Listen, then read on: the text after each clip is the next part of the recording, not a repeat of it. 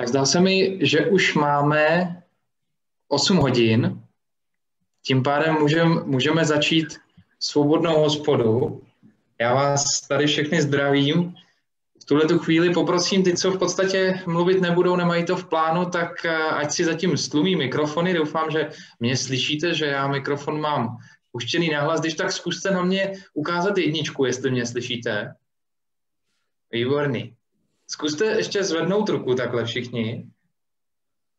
Tak, máme záložní plán, kdyby se někdo chtěl hlásit o slovo, tak eh, zvedá takhle ruku. Případně je tu ještě eh, tlačítko na zvednutí ruky, pokud jste na počítači, tak tam by to určitě mělo. Pokud na počítači nejste, tak to taky půjde, ale eh, každopádně si myslím, že bychom se měli zvládnout nějak dorozumět. Takže já už tuhle tu chvíli vás eh, teda všechny oficiálně eh, zdravím. Eh, my jsme se přišli bavit do svobodné hospody jenom proto, že hospody, zvlášť v této době a, a taky zvlášť v pondělí, mají zavřeno. Některé hospody mají třeba už otevřeno, když rebelují, nicméně zrovna v pondělí jich asi bude minimum. A hospody jsou tím místem, kde si často lidi eh, říkají své rozdílné pohledy na svět, eh, poznávají tam, eh, jak se žije někomu jinému, s kým nemají tu čas se každý den stýkat a otupují hrany.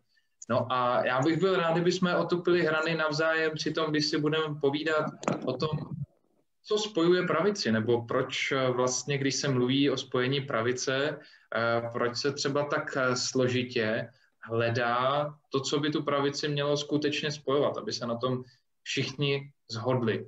Takže já si myslím, že aktuálně eh, ten náš pocit, pocit z pravice je tedy takový, že pravice eh, lidem příliš do života nekecá, pokud nikomu neškodí, tak je nechává žít. Eh, lidi, kteří pravici volí, tak si myslí, že o svém životě dokáží rozhodovat lépe, než když jim třeba říká pan Hamáček co mají dělat se svýma penězma, kdy mají chodit spát, eh, kdy mají chodit do práce, eh, kdy mají chodit nakupovat třeba důchodci a, a různé takové věci se aktuálně řeší, které bychom ještě před rokem považovali za opravdu zvrácený. Takže podle mě eh, pro tu pravici, tak jak ji vnímáme my jako svobodní, je právě tohle s tím pojítkem. A chci se zeptat i vás vlastně, co si myslíte, takže je třeba tím hlavním, co by mělo pravici spojovat, pokud bychom o nějakém spojování pravice mluvili, tak v čem bychom se měli zhodnout? Co je podle vás eh, teda tím skutečně ústředním? A to, na čem se nezhodneme, určitě každý z nás najdeme, ten fandí Spartě, ten fandí Slávy, eh, ten zase nefandí fotbalu, eh, ale něco, na čem bychom se měli zhodnout, to určitě dneska najdeme a myslím si, že to bude v podstatě závěr té diskuse, kdy si nakonec budeme moct říct, že jsme si opravdu eh, vy, přesně vyformulovali, co je podle nás tím, co by nás mělo spojovat. Takže možná taková otevřená otázka do davu, kdyby někdo měl nápad, já občas takhle budu koukat dolů, protože pod sebou mám počítač, před sebou mám kameru, eh, tak budu kontrolovat vlastně, kontrolovat, jestli někdo nezvedá packu, že by se chtěl přihlásit o slovo. Poprosím nově připojující se, ať si klidně vypnou mikrofon, dokud nebudou mluvit, tak ať se, ať se navzájem nerušíme, takže připojují se nám postupně další a další.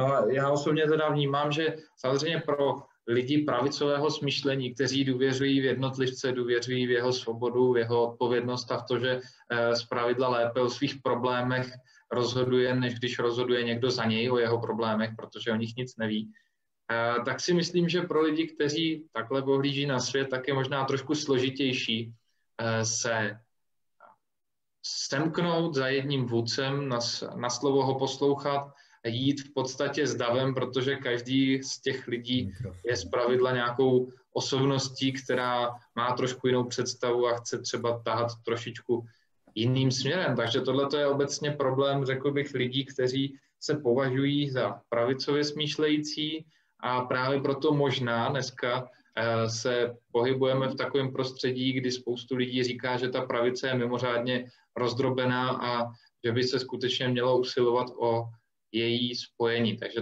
tohle je možná taky jedna z výchozích myšlenek, která bych řekl, že eh, je důležitá takhle na začátek a, a koukám, koho bych teda vyvolal, když se nikdo nehlásí, když nikdo nezvedá ruku.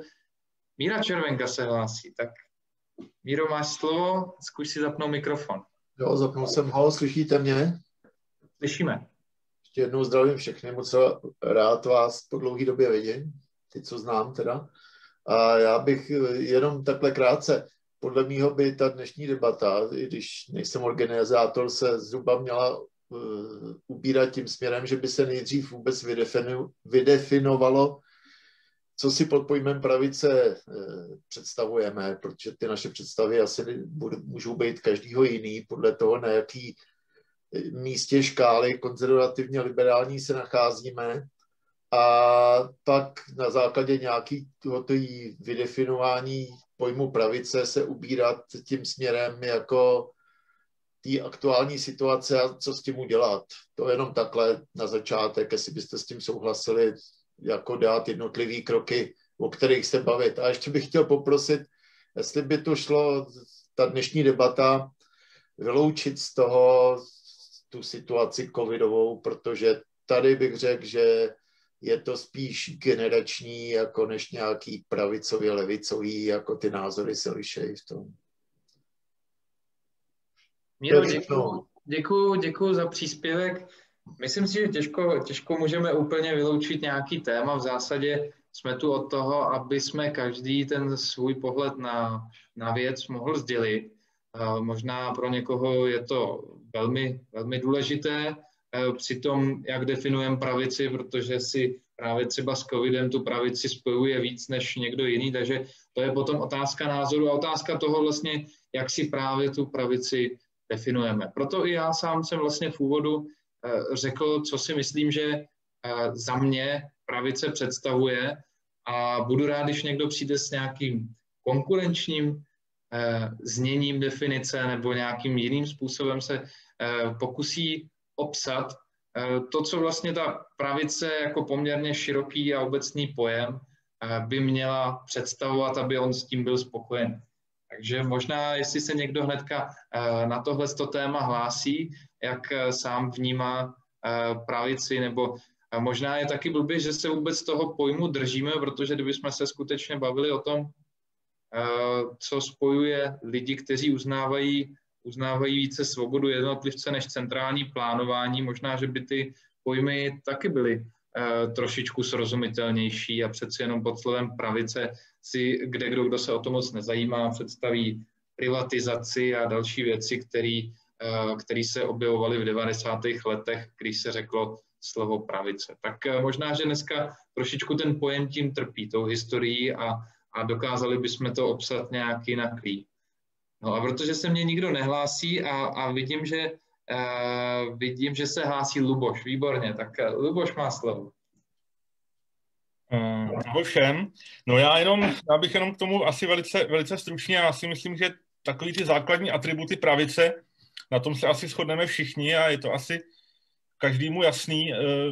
V zásadě i, v zásadě i těm lidem, kteří třeba nejsou tak úplně principiálně v politice eh, napravo, ale ne, anebo třeba nevolí úplně napravo, ale to spíš dělají, protože si nejsou úplně jistí, jestli ty stoprocentně prostě pravicový zásady je možný v současné politice vůbec nějakým způsobem uh, uplatňovat, ale že základní atributy pravice jsou důraz na trh, důraz na svobodu, důraz na nějakou osobní odpovědnost, zkrátka méně státu a více, více iniciativy na straně občana.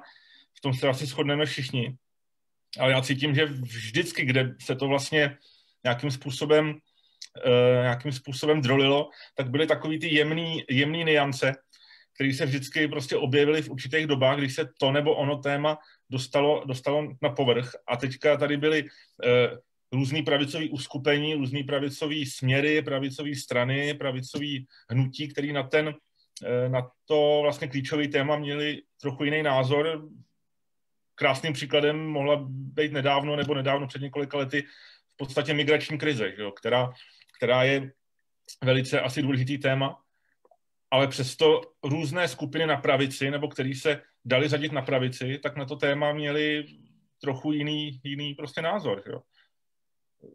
Prostě libertariáni například, který se dají řadit na pravici, tak se domnívají, že, že stát, pokud už má vlastně existovat, tak, eh, tak eh, má otevřít hranice, nemá bránit eh, vstupu na svý území v podstatě komukoliv, zatímco řekněme konzervativněji smýšlející lidi zase vlastně uznávají tu základní roli státu bránit si integritu vlastního území. Takže, takže podle mě není problém v, těch, v tom základním vymezení více trhu, ale potom v těch jemných niancích, na kterým se to prostě drolí.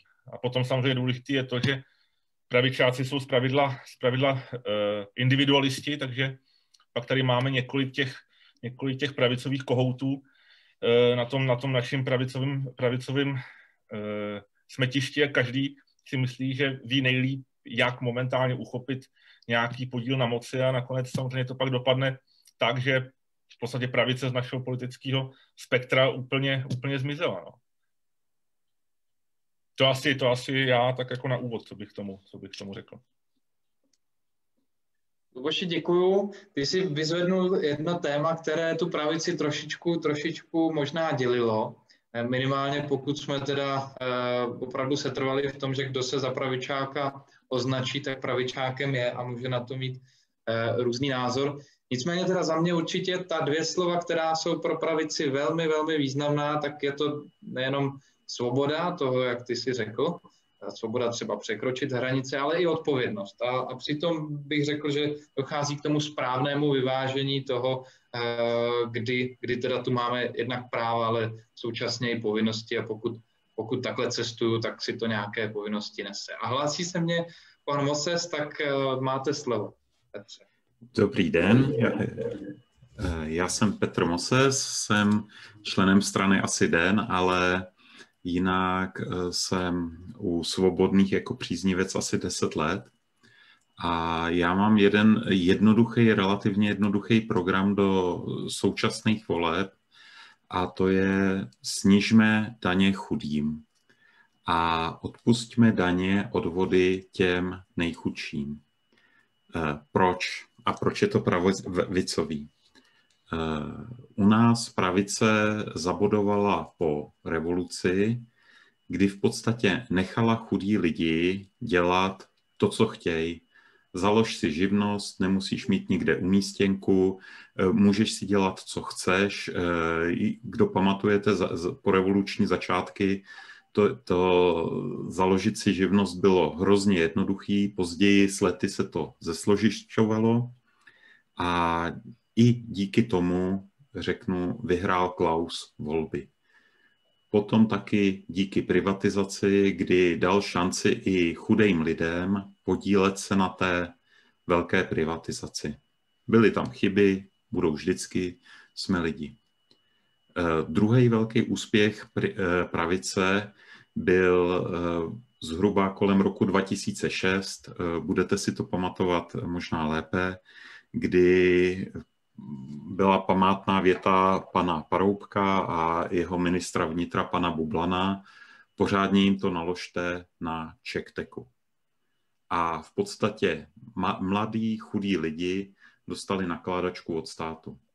Teď podobnou nakládačku dostáváme, řeknu, více nebo méně my všichni, takže my teď můžeme říct, snižme chudým daně.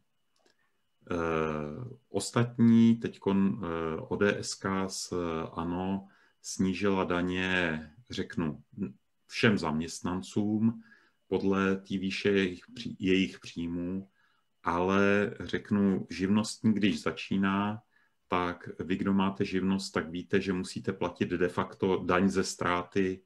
Teď nevím, jestli je to pět tisíc měsíčně nebo i o něco víc. Když eh, berete minimální mzdu, tak 7 tisíc korun z minimální mzdy jde státu, 12 tisíc si vezme zaměstnanec. Eh, s tímto programem můžeme vyhrát volby, to jsem přesvědčený, a nikdo proti nám nemůže mít žádné protiopatření, protože když lidem necháte peníze, tak oni si s nimi budou dělat, co chtějí a duha se rozklene nad naší kotlinkou. tak to je můj návrh. Děkuju, děkuju Petře. Fakt je ten, že tím, že eh, se sice snížily daně, ale například, například se zvedla minimální mzda, tak eh, se zvedly taky minimální odvody a tím pádem pro určitý druh lidí, kteří prostě nevydělávají eh, tak moc, aby to pocítili na svých daních, ale v podstatě jenom platí ty odvody, tak se pro ně ta situace zhoršila oproti minulému roku.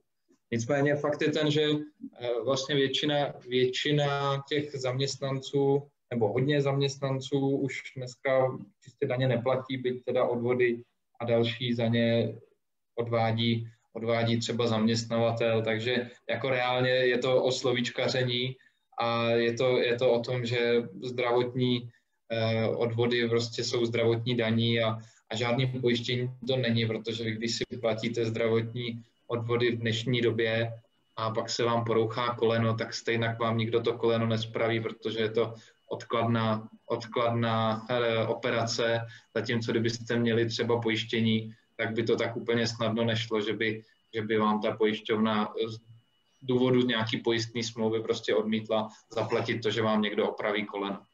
Takže ta situace, ano, ano, Petře, ještě možná se k tomu chcete vrátit. Eh, já jsem myslel, daněmi jsem myslel samozřejmě i daně a odvody na sociální a zdravotní pojištění. A když se někdo zeptá, no a čím bys to nahradil, tak řeknu, no tak chudým snížíme daně a bohatým miliardářům můžeme o něco snížit dotace. Dneska dostávají miliardáři a jejich obchodní partneři dostávají ročně 100 miliard dotací. Asi víte, že pan premiér Babiš teď nemá čas zrovna na nějaký ten pitomý covid, nechci o něm mluvit, ale on zrovna teď vyjednává 180 miliard dotací ve Fondu spravedlivé transformace. Takže to jsou, to jsou v podstatě peníze, které můžeme použít na snížení daní chudým a dorovnat tím výpadky, které budou ve zdravotním, případně v sociálním pojištění. Tak eh, jenom takhle myslel jsem, včetně zdravotního a sociálního pojištění. A je vidět, když někdo třeba má minimální mzdu, tak eh, je rozdíl mezi 12 tisíci a 22 tisíci, který by mohl mít. Takže.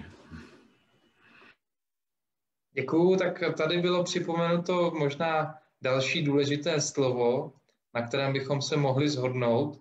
Eh, pravičáci nemají rádi dotace. Jestli, jestli s tímhletím výrokem někdo nesouhlasí, ať zakroutí hlavou. Jinak si myslím, že to je něco, na čem se v podstatě můžeme zhodnout, že pravičáci slovo dotace nepo, nepovažují za nic, eh, čemu by úplně nějak fandili.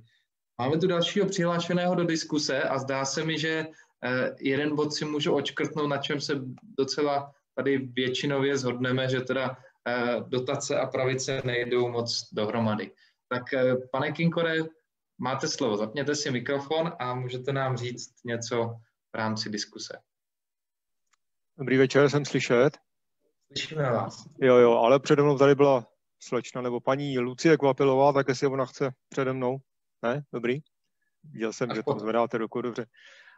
Já jenom eh, drobnost, teď zrovna jste řekl slovo nemají rádi, jo. Já takovýhle slova, abych se jich úplně vyvaroval, jo. To prostě navozuje myšlenku, že tady jde o to něco, co kdo má rád a, a někdo má takovýhle nápad, tak prostě dotace jsou zlo a my máme jasný argumenty, že jo, prostě proto, jo. Takže že zrovna jakoby ne, ty, jo, v úvozovkách nefandíme a nemáme rádi, to jsou strašně takový subjektivistický, já do toho nechci zavádět filozofii, že možná mnozí ví, že, že s Lubošem se zabýváme poměrně hluboce filozofii a tak dále, ale, ale ono o tyhle ty pojmy hodně jde, jako jo, prostě mini, dát tam minimum, minimum takových těch, jakoby, že to je, že to je naš, že to je, že to je náš jakoby nápad, že to je naše, co se nám líbí, že jo, to líbí, to okamžitě navozuje jako subjektivismus. Prostě dotace jsou objektivně prostě zlo, jsou iracionální a tak dále a máme proto takovýhle argumenty, ale tak to je taková, taková drobnost. Spíš jsem chtěl říct, ehm, znovu, znovu na, na vás, pane Mondráčku, rád vás tímto poznávám osobně, aspoň přes video, Říkal jste odpovědnost, to je taky taková okřílená fráze, jo, svoboda, ale odpovědnost. Co myslíme, co myslíme tou odpovědností? Já to nikdy nepoužívám, nikdy. A už vůbec ne v souvislosti se svobodou, prostě, jo. Ono to, ono to trošku je i mnohými řekl bych ODS a, a tohoto typu prostě strany, které nemají s pravicí nic společného a, a, a prostě s individualismem, Oni to považují takový, za, taková jakoby, jakoby ta zadní vrátka, dobře, my jsme svobodní, ale zároveň souhlasíme, chceme být svobodní, ale zároveň souhlasíme s tím, že máme, a teď to přijde, odpovědnost za ty životy ostatních. No a to je, klíčová, to je klíčový problém. Jo? Takže jakmile říkáme svoboda a odpovědnost, tak já bych to za neříkal vůbec, a když to teda říkáme, tak ale říkáme, říkejme individuální odpovědnost za své vlastní životy. Čímž nijak, ale když to neřekneme, tak, tak 99% lidí tím to chápe, na prvním místě ODS, že jo, kterou já teda trošku malinko sleduju a jinak sleduju, že jo, vůbec, co, co, co lidé píší a tak dále, ale jakmile se řekne odpovědnost, 99% lidí, nejenom u nás na planetě, vám samozřejmě řekne, aha, to je ta odpovědnost za druhé. Takže buďme svobodní, ale máme, máme tu morální odpovědnost, že musíme prostě eh, jim pomáhat a tak dále a tak dále, což je obrovsky kontroverzní otázka, to už je prostě věc morálky a tak dále, jo. ale ale já bych se toho úplně vyvaroval a když už bych to řekl, a zejména v souvislosti se svobodou, tak bych vždycky říkal individuální odpovědnost za svůj vlastní život a když bychom to chtěli dál rozvádět, což nijak nevylučuje, že prostě eh, existuje že dobrovolná charita, spolupráce, což vůbec nijak jakoby nevylučujeme a tak dále, ale fakt bacha na to prostě svoboda a odpovědnost, okamžitě otevíráte vrátka tomu, no, ano, tak, tak tak, tak pojďme, pojďme pro ty všechny ty welfare, welfare sociální programy, to je ta odpovědnost, že jo, buďme svobodní, ale zároveň tolerujeme všechny tyto věci, no, takže to je jenom to. Je jenom to. A poslední poznámka, eh, pokud pravice, levice, já bych ten pojem nezahazoval, to, to rozdělení, když dneska se hodně o tom diskutuje, jestli to vůbec platí nebo neplatí, prostě ta, ta původní, ta původní uh, to původní rozlišení bylo jasné, prostě individuální práva versus neindividuální práva, takže, takže pravice je prostě eh, pro individuální práva, jakkoliv nekonzistentně a tak dále, ale levice prostě není pro individuální práva, ta je prostě pro, pro uh, jejich porušování a tak dále. Já bych, já bych nabídl, když někdo třeba nechce pravice, levice, tak já bych nabídl krásné prostě pojmy ale zase mnoho, mnoho lidí jim nerozumí, je potřeba vysvětlovat individualismus versus kolektivismus. Jo. To je jasné dělítko prostě tomu, tomu by, by měli lidé rozumět a pokud nerozumí, tak, tak zejména tomu kolektivismu nerozumí, ale oni vlastně individualismu také nerozumí. Myslí si, že individualismus znamená, znamená izolování se od společnosti a bezohlednost vůči ostatním a tak dále. Takže, takže nabídka, jo, i, i hodně používat tyto věci, ale přitom je vysvětlovat, jo.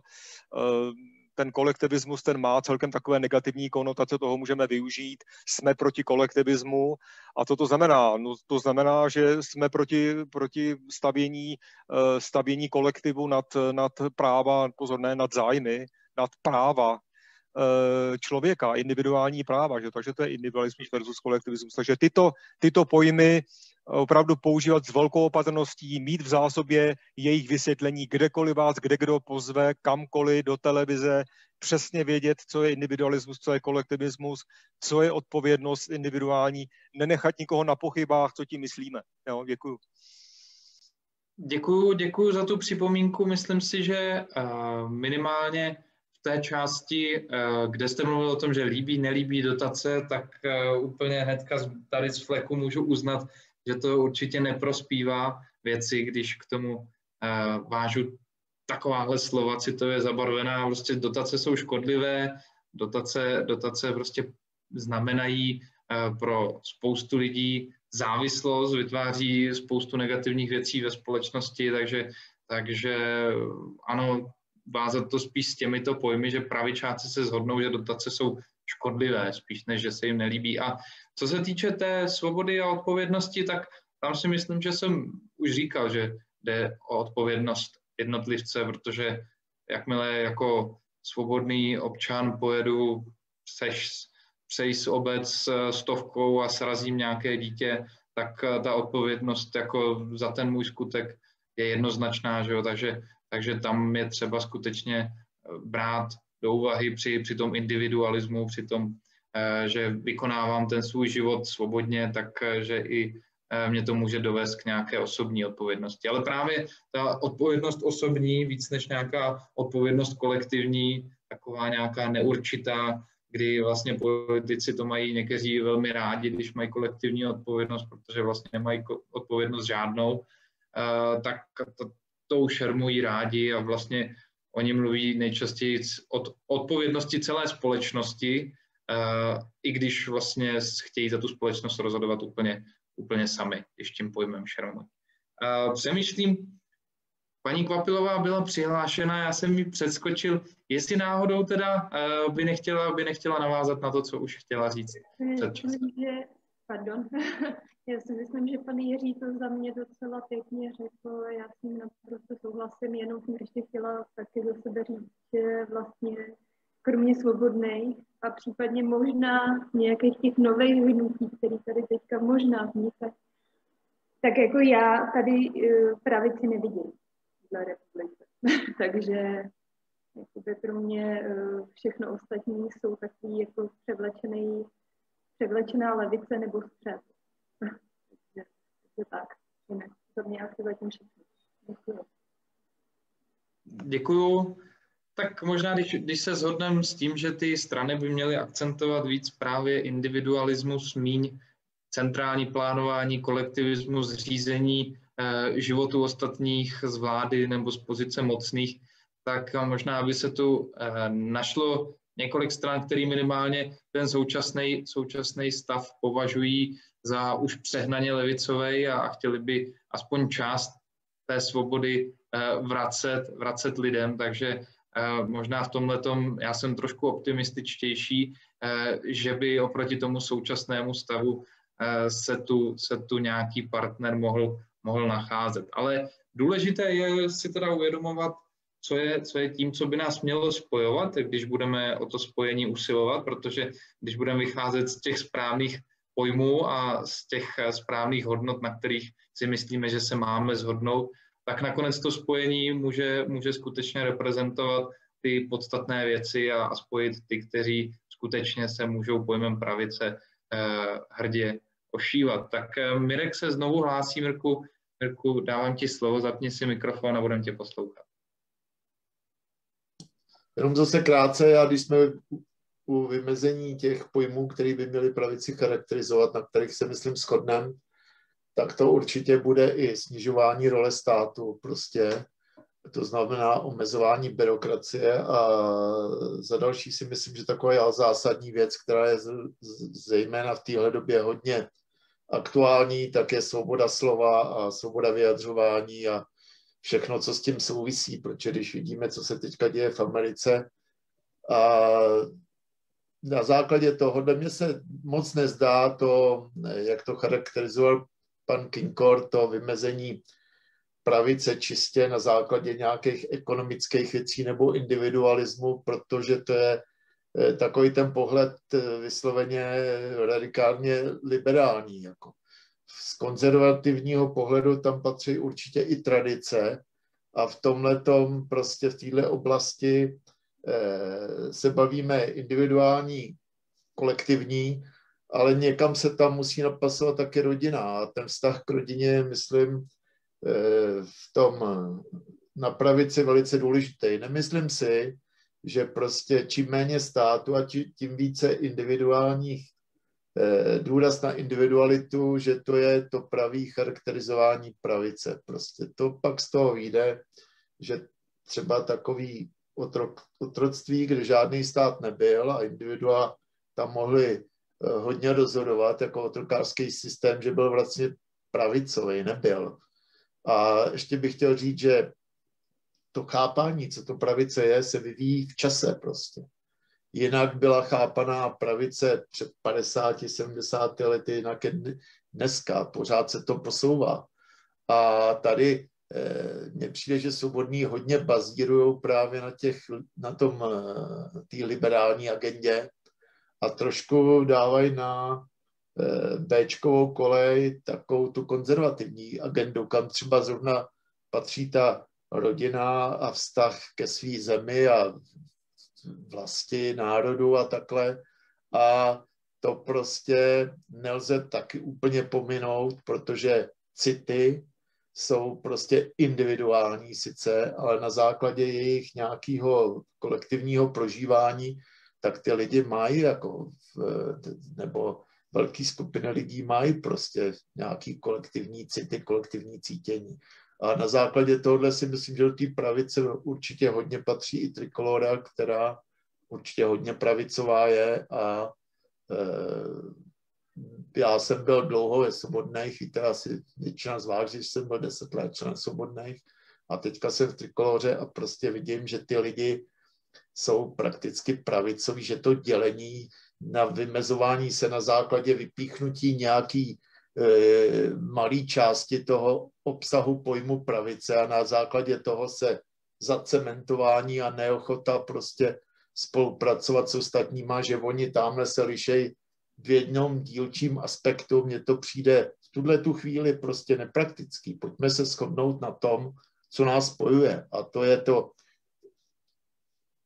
ty základní věci, jak to správně tady, Libore, vedeš tu debatu. Prostě, že to je odpor dotacím, odpor biodokracii, zmenšování státu, svoboda slova, individuální svoboda, ale že to nemusí znamenat nějaký prostě až anarchistický chápání tohodle pojmu, ale s tím, že prostě postupně ten stát ořezávat jako gyros a přidávat tu svobodu a ubírat ten centrální systém. Takhle asi všechno zatím. Děkuji.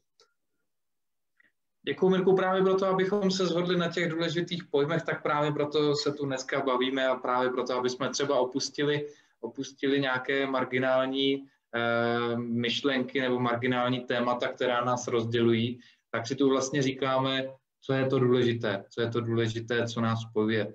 My jsme, my jsme pro ten účel vytvořili určitých deset klíčových otázek, které považujeme za velmi podstatné. Eh, to, že nebudeme zvyšovat daně, to bylo hned na prvním místě, pak těch otázek eh, je ještě nějaká část a určitě tady mnoho z těch věcí, mnoho z těch věcí už zaznělo. Eh, Lucie se hlásí o slovo, předtím tady byl Petr Moses přihlášený, ale možná už polk myšlenku, takže Lucie, máte slovo. Já jenom si myslím, eh, teďka teda k pánovi, říkal, tak já třeba s trikolorou nemám absolutně žádný problém a myslím si, že vlastně jako by ta individualita nebo individualismus, jak, jak o tom mluvíme, tak eh, já si nemyslím, že by se to vylučovalo třeba s eh, tradičníma hodnotama některýma, protože jakoby z nějakého toho filozofického hlediska, nebo i z, i z hlediska toho vlastně, v jakém státě žijeme, jak tu lidi uvažují.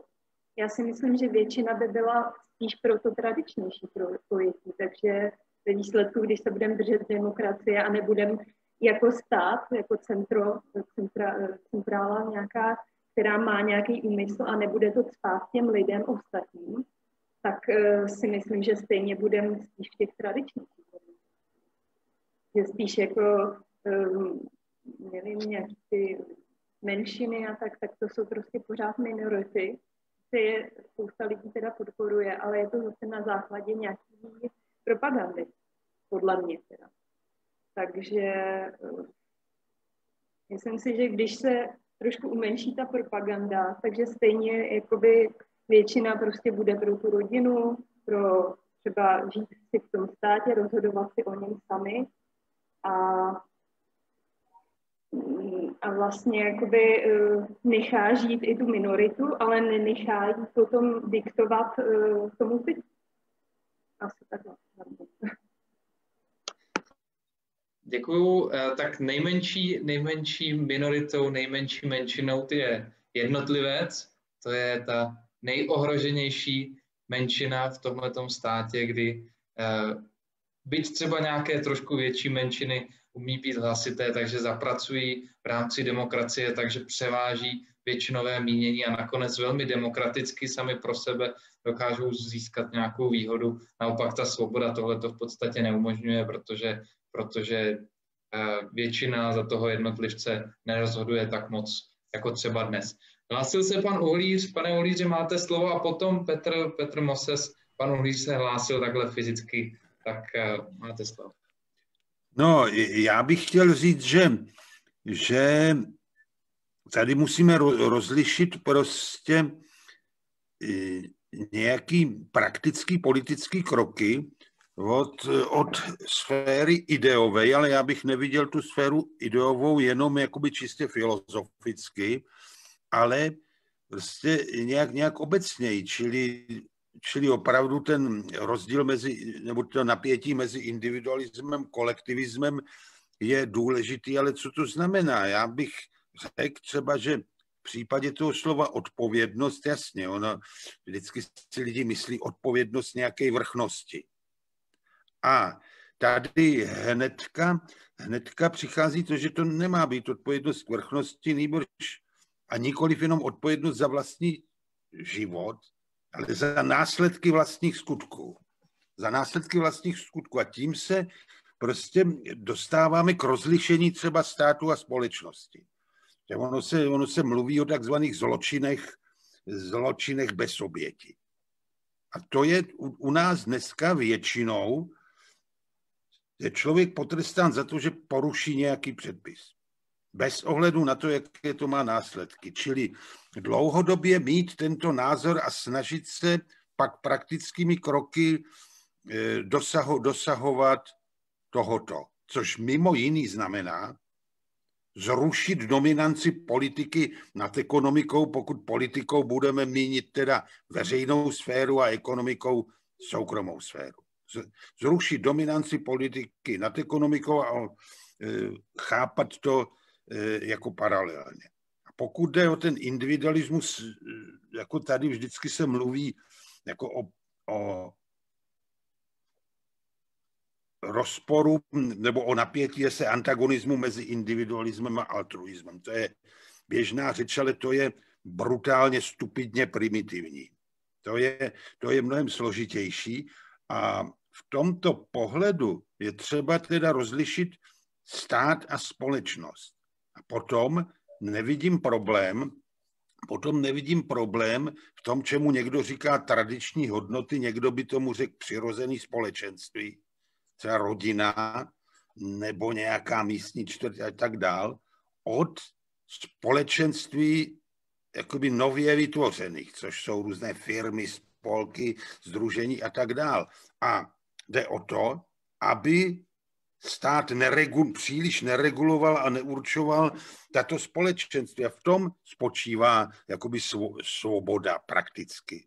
Samozřejmě to můžeme chápat v nějaké té filozofické rovině, ale to jako politika není, politická činnost není příliš aréna, kde by se, kde by se mělo, mělo to řešit obecně. Tam jde vždycky o nějaké kon, konkrétní věci. No a ono z toho pak vyplyne, vyplývá teda pryč dotace a zejména já bych položil, položil na první místo možná pryč regulace a takovéhle ty typy těchto z těch předpisů, což pak znamená, nebudou regulace, nebo je potřeba spousta úřadů.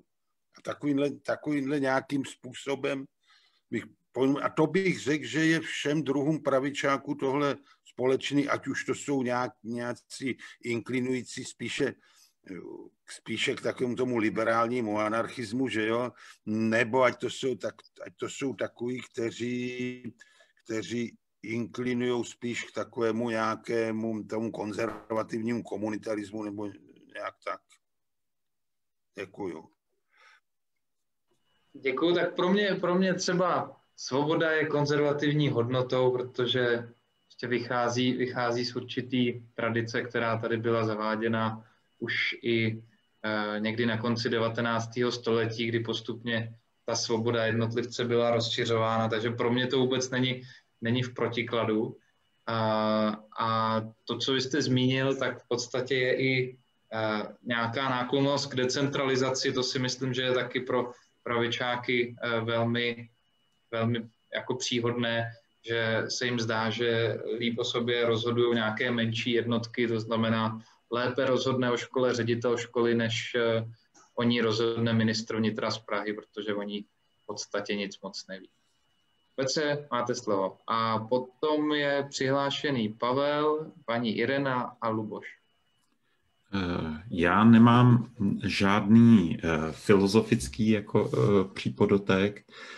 Pokud jsme se bavili, nebo pokud jsem slyšel návrhy, že by se snižoval vliv státu, tak šlo by to udělat tím, že se umožní větší sponsoring nebo větší možnost darování, větší možnost pomoci ze strany soukromých subjektů, myslím teď na zaměstnance, směrem k neziskovkám, směrem eh, ke zdravotní péči.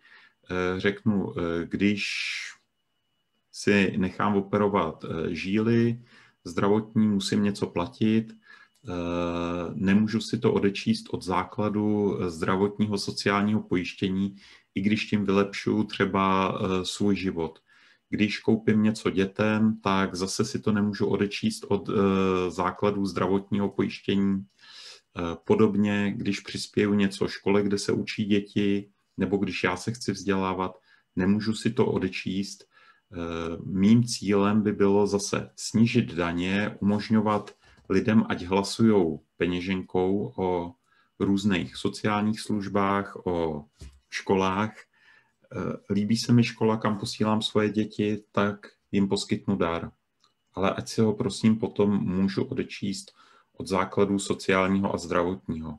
Protože když poskytnu dneska dar učiteli, tak na mojí straně je to zdaněný z nějakých 50%, na straně učitele je to zdaněný plus minus taky na 50%, eh, takže učitel dostane 25%, stát dostane 75%. Tak to je jenom můj praktický eh, přípodotek. Eh, ze strany, když jsem tady slyšel slovo trikolora, nechci hodnotit tu stranu neznámý, akorát jsem si všiml, že chtějí zakázat lidem, aby si kupovali Eh, zahraniční potraviny, například sůl, tak to nechápu a to mi nepřijde třeba moc pravicové a doufám, že to bylo, byla jenom nějaká popleta a tak. To je všechno. Děkuju. Tady, tady už možná se právě dostáváme k těm konkrétním věcem, kdy samozřejmě v konkurenci mnoha různých dotací napříč, napříč celou Evropou je těžké hledat eh, aktuálně, aktuálně životaschopné pravicové řešení, byť třeba my jako svobodní bychom si eh, uměli určitě vybrat jinou cestu, než, než zavádění nějakých takových potravinových kvot. Na druhou stranu je třeba opravdu říct, že v tom, v tom dnešním světě nežijeme v nějakém inkubátoru, ale jsou tu nějaká pravidla, která my neurčujeme, takže, takže někdy právě eh, je, je lepší, nebo se spíše zhodneme na principech a větších věcech, než potom na tom konkrétním řešení, ale to už potom můžou být, můžou být některé i spíš drobnosti. Pavle, máte slovo. Jo, no já bych to rád vrátil trošku do reality. Mám tady se omílají trošku, pardon, kliše o svobodách jednotlivce, jako by nebyly další žádný um, úrovně. Jo, samozřejmě nad tím je rodina, nad tím je obec, nad tím je stát. A pokud chceme to, co bychom vlastně měli, nebo co já bych řekl, že by se mělo prosazovat, je určitá forma suverenity. Ať už na sobní, nebo prostě na úrovni obce, státu a podobně. Eh, podle mě nemá absolutně cenu teďka bojovat proti vlastnímu státu. Teďka nemyslím Babiše nebo jakýkoliv jiného parchanta, Uh, uvědomte si to, že my tady můžeme vykládat prostě eh, teorie, ale nám přijde směrnice nebo, nebo nařízení z Evropské unie. Eh, první, co my musíme dokázat, je to, že nám bude umožněno, my si vezmeme zpátky suverenitu nad vlastními životy, nad vlastní zemí. Dneska Němci ovládají naši tradiční soustavu z Míchova. Diktují nám prakticky všechno přes Evropskou unii jako debaty o tom, jestli my máme rádi to nebo ono, jsou úplně, úplně prostě zbytečné debaty v okamžiku, kdy ani není zájem nebo, nebo víze, že si vezmeme vládu nad vlastním územím do vlastních rukou. To, co se dělo v roce 1918, že vznikla Československo, teď se to oslavovalo, ale neslyšel jsem skoro nikoho, že by řekl, pojďme si vzít suverenitu zpátky. On, o nás se rozhoduje v Evropské unii, v Evropské komisi a k nám, jak říkal, myslím, pan Klaus to říkal, kolem dvou třetin zákonů a tady těch, těch věcí se přichází v podstatě jako diktát. Takže naše debata tady je v podstatě, sice jako není to, že bychom byli eh, zastřelí na úsvitu od, od gestapa, ale v podstatě v pozici protektorátu my tady sníme o něčem, eh, pojďme nebojovat proti vlastnímu státu, pojďme bojovat proti tomu, eh, kdo nám vnucuje věci, kterými nechceme, který nám dokonce neumožňuje se rozhodovat. A chci ještě jednu věc říct, ta fascinace a taková trošku jako až jako nezdravý důraz na individualismus, eh, já to, já to opravdu vidím jako, jako nezdravou věc, protože samozřejmě eh, záleží na úrovni, ale eh, ukažte mi společnost úspěšnou, kde neexistuje stát nebo nějaký jako zřízení. Ta společnost nedokáže nikdy nic. Oni se nedomluví na silnici, nedomluví se na raketě, nedomluví se na obraně dokonce ani tady tyhle společnosti vždycky byly převálcovány těmi, kdo se organizovat dovedli. To znamená, to, co je potřeba prosazovat, je, já to slovo řeknu, subsidiarita, ale je to prostě je to slovo, který Evropská unie trošku eh, zkazila, ale v zásadě to říká to, že věci se mají rozvíjet na té úrovni, kde je to nejvíc efektivní. Ale to neznamená absolutně, že to vždycky na tom, na tom občanovi. Může to být rodina, může to být obec, může to být vyšší z celek. Je to prostě tak. Je to tak i v přírodě, je to tak prostě úplně všude.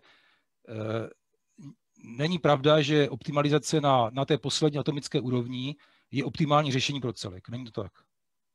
Vždycky je potřeba eh, na, na dané úrovni optimalizovat správným způsobem. To znamená, pokud eh, řešíme například otázku suverenity České republiky, tak to musíme řešit na úrovni státní, a ne, že já budu ignorovat nařízení Evropské unie, to prostě fungovat nebude. Stejně jako obrana, stejně jako ochrana hranic a podobných věcí. Jo? Takže to jsem tak chtěl říct. Díky. Děkuju. Pro tu decentralizaci jste použil vlastně druhý pojem, subsidiarita.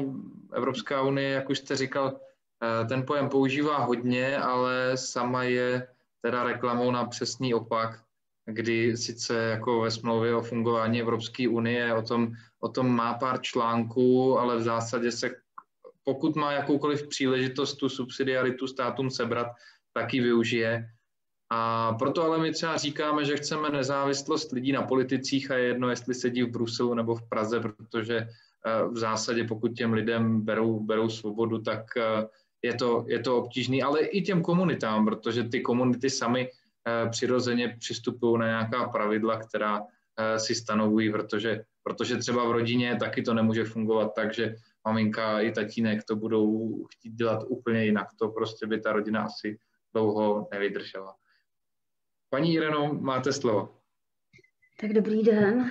Já děkuji za přizvání, když jsem přišla později, ale já se budu věnovat akorát tomu jednomu pojmu odpovědnost. Mě tak obsah a tak nějak jsem se, psala jsem si poznámky, spoustu dobrých myšlenek a vůbec jako zamyslet se nad tím, ale odpovědnost jedince, ta musí být, že jo, prostě musí se zaobstarat každý. A všechno ve výchově, aby ten člověk byl samostatný, ale pak je tu odpovědnost společenská, to určují pravidla. To jsou zákony. Pokud budou tady ty zákony, které tady jsou, to je chaos a zmatek, tak nikdy nemůže být nějaká společenská odpovědnost. Tady si každý dělá, co chce, a zodpovědný člověk je trestán a nezodpovědný v podstatě unikne. Jo, trošku to, nechci to až tak zlehčovat. Napak je odpovědnost národní, o tom mluvil teď Pavel, to je nádherný. Taková národní hrdost, národní odpovědnost, odpovědnost za národ, to se úplně ztrácí. Se doznám, že jsem školák a mám vyvěšenou vlajku. A já jsem snad jediná tady v obvodě, kdo má vyvěšenou vlajku. Máme jich tam tři měsíce na jaře, tři měsíce na podzim, nesundáváme to. Dokonce, když už je taky vyměníme, koupíme novou, ztrácí se národní hrdost. A to je taky odpovědnost. A to je všechno ve výchově. Pokud nebude výchova, tak se všechno ztratí a všechno je marný. Marnost, marnost, marnost. Musíme ty děti k tomu přivíst, že musí být hrdý. Toto taky padlo. Jo, na svůj národ. Teď mě už je kolik je, nebudu říkat, kolik mi je, ale prožila jsem dost doby ty bývalý i ty současný, jako zodpovědný člověk za zaměstnance. Takže si říkám, že prostě něco je špatně tady v té naší republice. Tak jenom k tomu pojmu obsahu odpovědnost, dalo by se tam hodně mluvit. Spoustu pojmů tady padlo. Ale uh, ten pan Pavel, co mluvil, tak bych řekla, mnohy bych podepsala teď hned. Jsem mu nestihla dát lajka. a děkuji za pozvání. Jako o svobodných už vím delší dobu, a tak nějak sleduju od zakladatele, oh, teď mi to vypadlo jméno, teď myslím, že učí na ekonomické škole. Ano. Takže jako sleduju to velice dlouho a jsem nestraník, protože jsem si prožila už ty běhavé doby, ani když jsem byla, ani, ani tenkrát, ani teď, ale vždycky říkám, hledám tu správnou, správnou stranu, která prostě bude mít trošku ty národní hrdosti a povedle ty lidi k té odpovědnosti ale opravdu to umět lidem vysvětlit, co ta odpovědnost je, protože odpovědnost jsou i ty povinnosti, to jsou ty pravidla a ty lidé prostě, a hlavně ta doba, co je teď, tak ty děti se to ani nemají šanci naučit. Když jsou každý jsme izolován. Takže, a to už odbíhám, opravdu, eh, individu, umět se zaobstarat, zabezpečit sebe a rodinu, to je odpovědnost, odpovědnost společenská, tu dávají opravdu zákony a ty musí být jasný, stručný a ne Tady proč ta byrokracie nastupuje? To, protože je mnoho a mnoho nade mnou za tu dobu, co spravuju určitý objekt, tak nade mnou nenarostly kanceláře, to jsou baráky. Dole nepřibyla ani noha a já ty baráky nad sebou musím stíhat. Jo? Až ta naše generace odejde, ty mladí to někteří ani nechtí. Oni chtějí lukrativní místa, ale ne ty, já jsem doběhla teď z práce, jako jo. Když jsem říkala, jsem si řekla, jo, a to jsem od rána v práci. Takže um, chtělo by to se zamyslet a trošku, trošku ty zákony okleštit a tím pádem nebude tolik kontrol.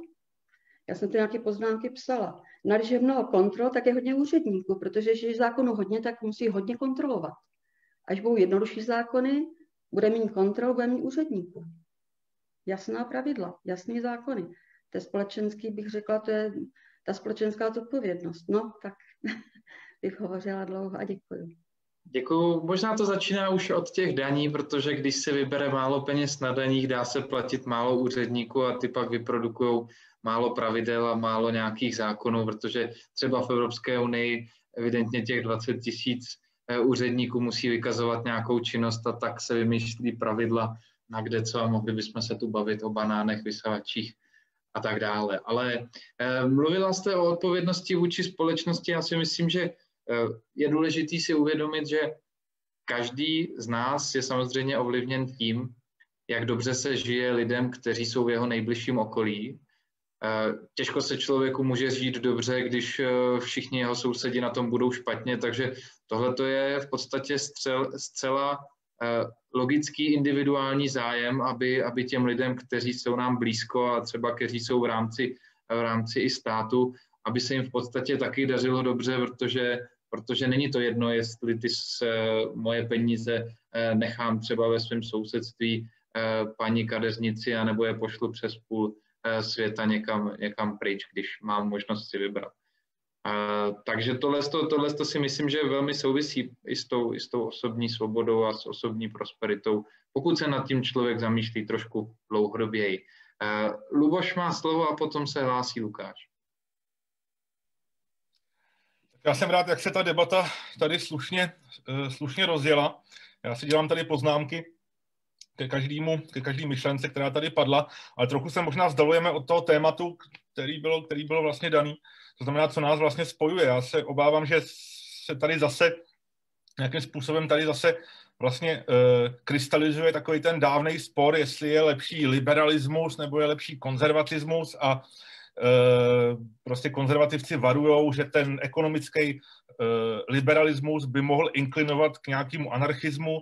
Na druhou stranu zase, eh, zase liberálové velmi správně poukazují na to, že konzervativci mají někdy sklon lidem řídit jejich, jejich vlastně život, to znamená, co si mohou dělat se svým vlastním životem. Já bych tedy rád připomněl a myslím si, že to je správná cesta, že vlastně svobodní vznikly jako strana, která byla od začátku definovaná jako eh, liberální, eh, liberálně konzervativní. Já už nevím, kdo z těch otců zakladatelů, jestli to byl přímo Petr Mach, nebo jestli to byl uh, Miloslav Bednář, tak definovali uh, ten liberálně konzervativní směr jako liberální v ekonomice a konzervativní v těch základních hodnotách, který patří každému z nás, kam může patřit ta rodina, může tam patřit vědomí, vědomí nějaký, národ, nějaký národnostní sounáležitosti, pokud, pokud si sami jsme schopni definovat, že to má pro nás smysl.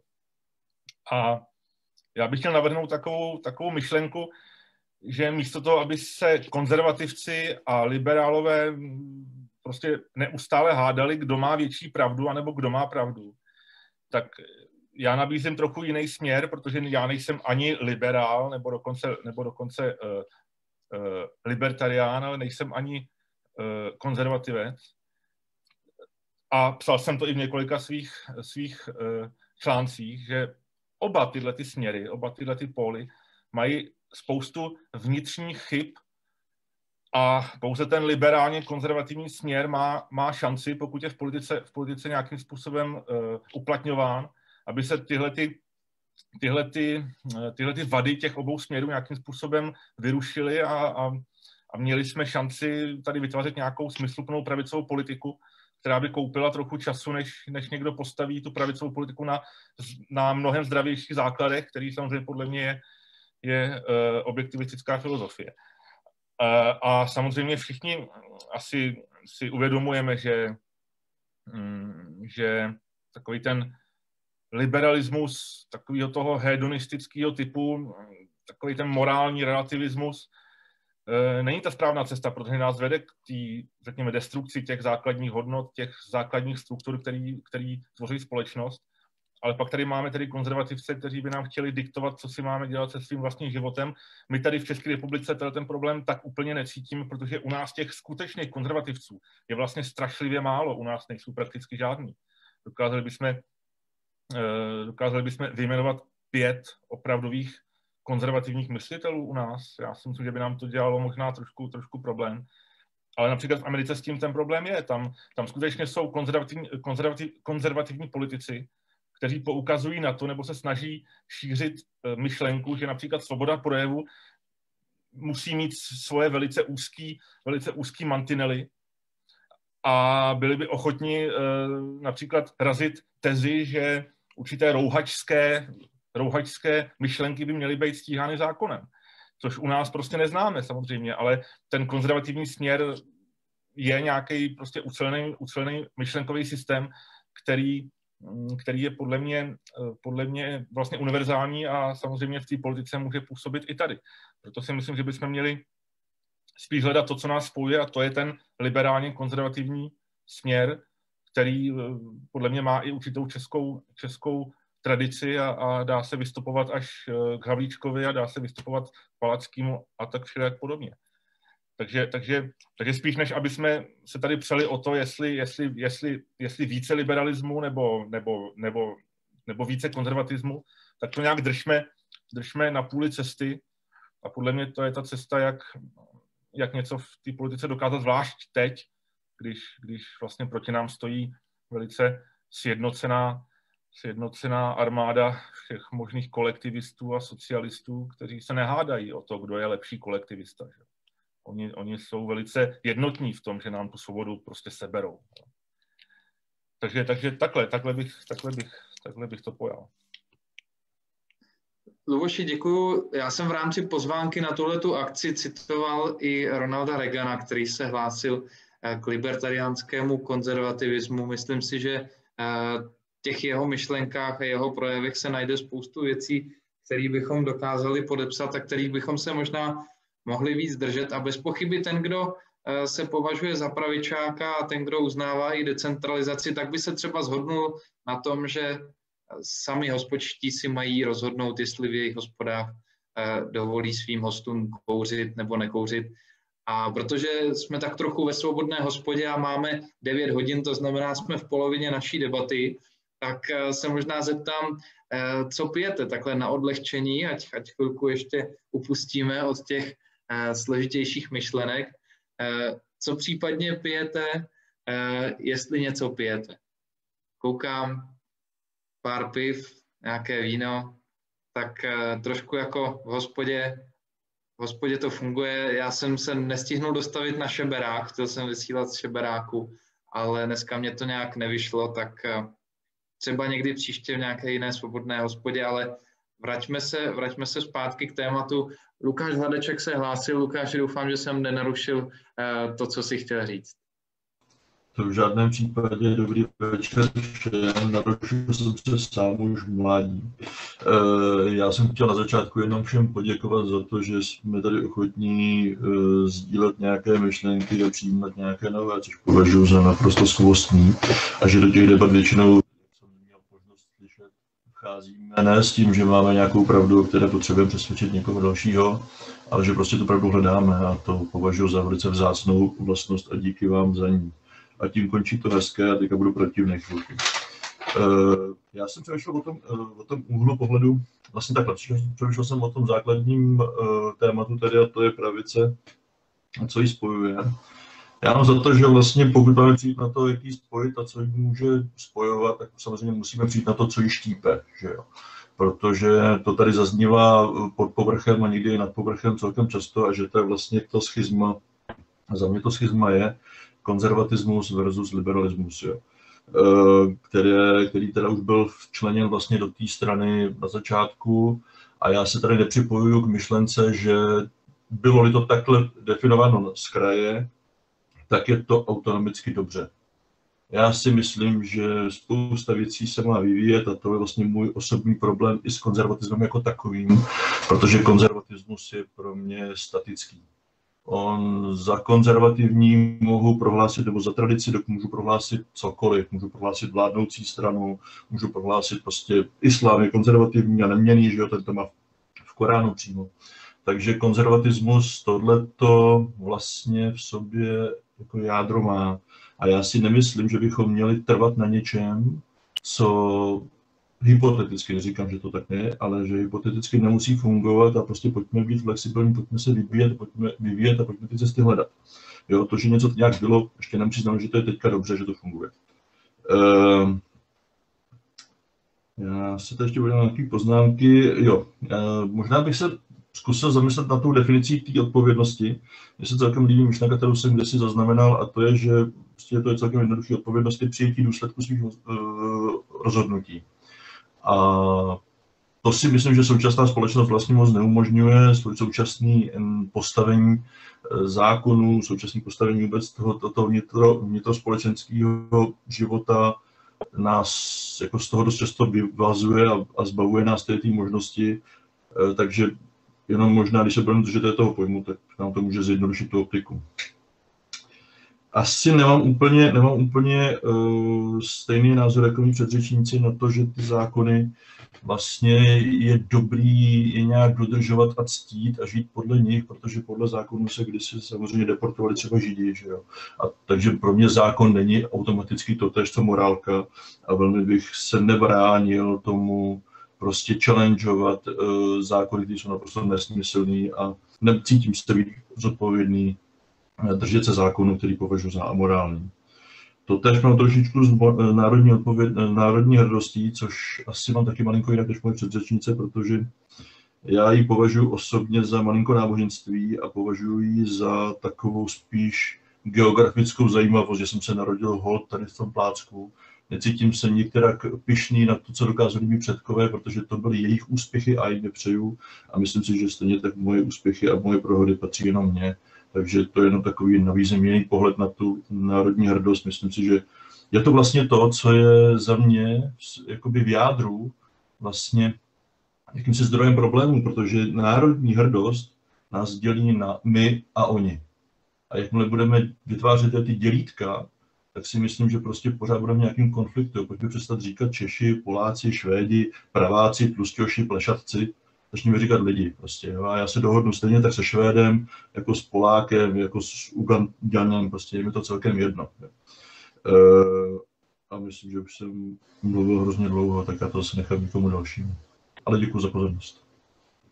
Lukáši, děkuji, děkuji, že jsi zmínil ten významný, významný aspekt toho, co se tu dneska odehrává, to, že si spolu povídáme, protože uh, skutečně uh, často, často spoustu problémů se dá řešit, když se spolu lidi baví. A zatím tady žádný velký problém nevzniknul, ale kdyby náhodou vzniknout měl, tak určitě, určitě to, že se spolu bavíme, tak uh, to, to je mimořádně dobrý. Myslím si, že i ty lékaři, i podnikatelé, kdyby spolu seděli v hospodě u jednoho piva, tak eh, by možná eh, se dokázali, dokázali líp pochopit. Dneska to bohužel nejde. Eh, ještě tady odpovím na jednu otázku, nebo zmíním něco, co bylo v chatu, než předám slovo Karlovi. V chatu bylo, že vlastně snižování daní potom v dnešním kontextu znamená zvyšování dluhu. Tak ano, krátkodobě to tak samozřejmě je, ale, ale dlouhodobě snižování daní vytváří teda určitě, určitě tlak na snižování výdajů, protože uh, dělat dluhy uh, je strašně snadný v dnešní době, kdy se to vymluví a, a jako svede na covid, ale dlouhodobě to určitě naopak eh, může přispět k tomu, že se oseká, oseká ten stát. No a o odpovědnosti a o tom, že by eh, si přáli, eh, aby, aby lidi byli odpovědní za svoje vlastní skutky, tak o tom mě mluvili kdysi eh, mladí lidi, se kterými jsem mluvil na debatě, kdy jedna slečna doslova řekla, přála bych si, aby feťáci hradili svoji vlastní léčbu, což je vlastně jednoznačný prvek odpovědnosti a protože vím, že Karel je taky poměrně mladý, tak se chci zeptat, jestli bude taky trošku mluvit o odpovědnosti. Karle, co máš na srdci? No, já jsem se chtěl hlavně uh, k té pravici, že, že já vidím to tak, že lidé se k ní budou vracet, protože to, co vidí, jak se teďka chová vláda, jaká je byrokracie, jaká jsou nařízení, například, že třeba za měsíc a půl je tady povinné sčítání lidu, které jako lidi jsou stoupně naštvaní a jako myslím si, že tímhletím právě, že tímhletými vládními nesmysly uh, bude prostě ta pravice a ty pravicové strany prostě budou sílit.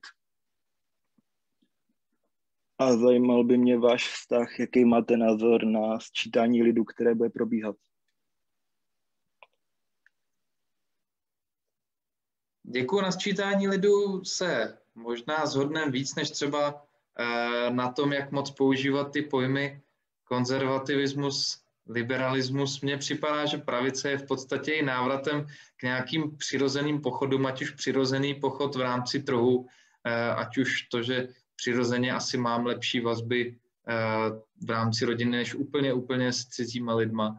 Takže v tomhle třeba pro mě někdo by to naznačil nebo označil, že to je, že to je konzervativismus, když o tomto mluvím, když důvěřuji těmhle těm přirozeným jevům, ale myslím si, že to je i součást, součást vlastně pravicového vidění světa. A protože eh, Jarda Marza se hlásil, já jsem ho přehlídnul, tak teď už dávám slovo Jardovi a potom Luboš a znovu Lukáš. Jo, díky moc. Já vždycky zapomenu, jak se tam mačkají ty, eh, ty ručičky.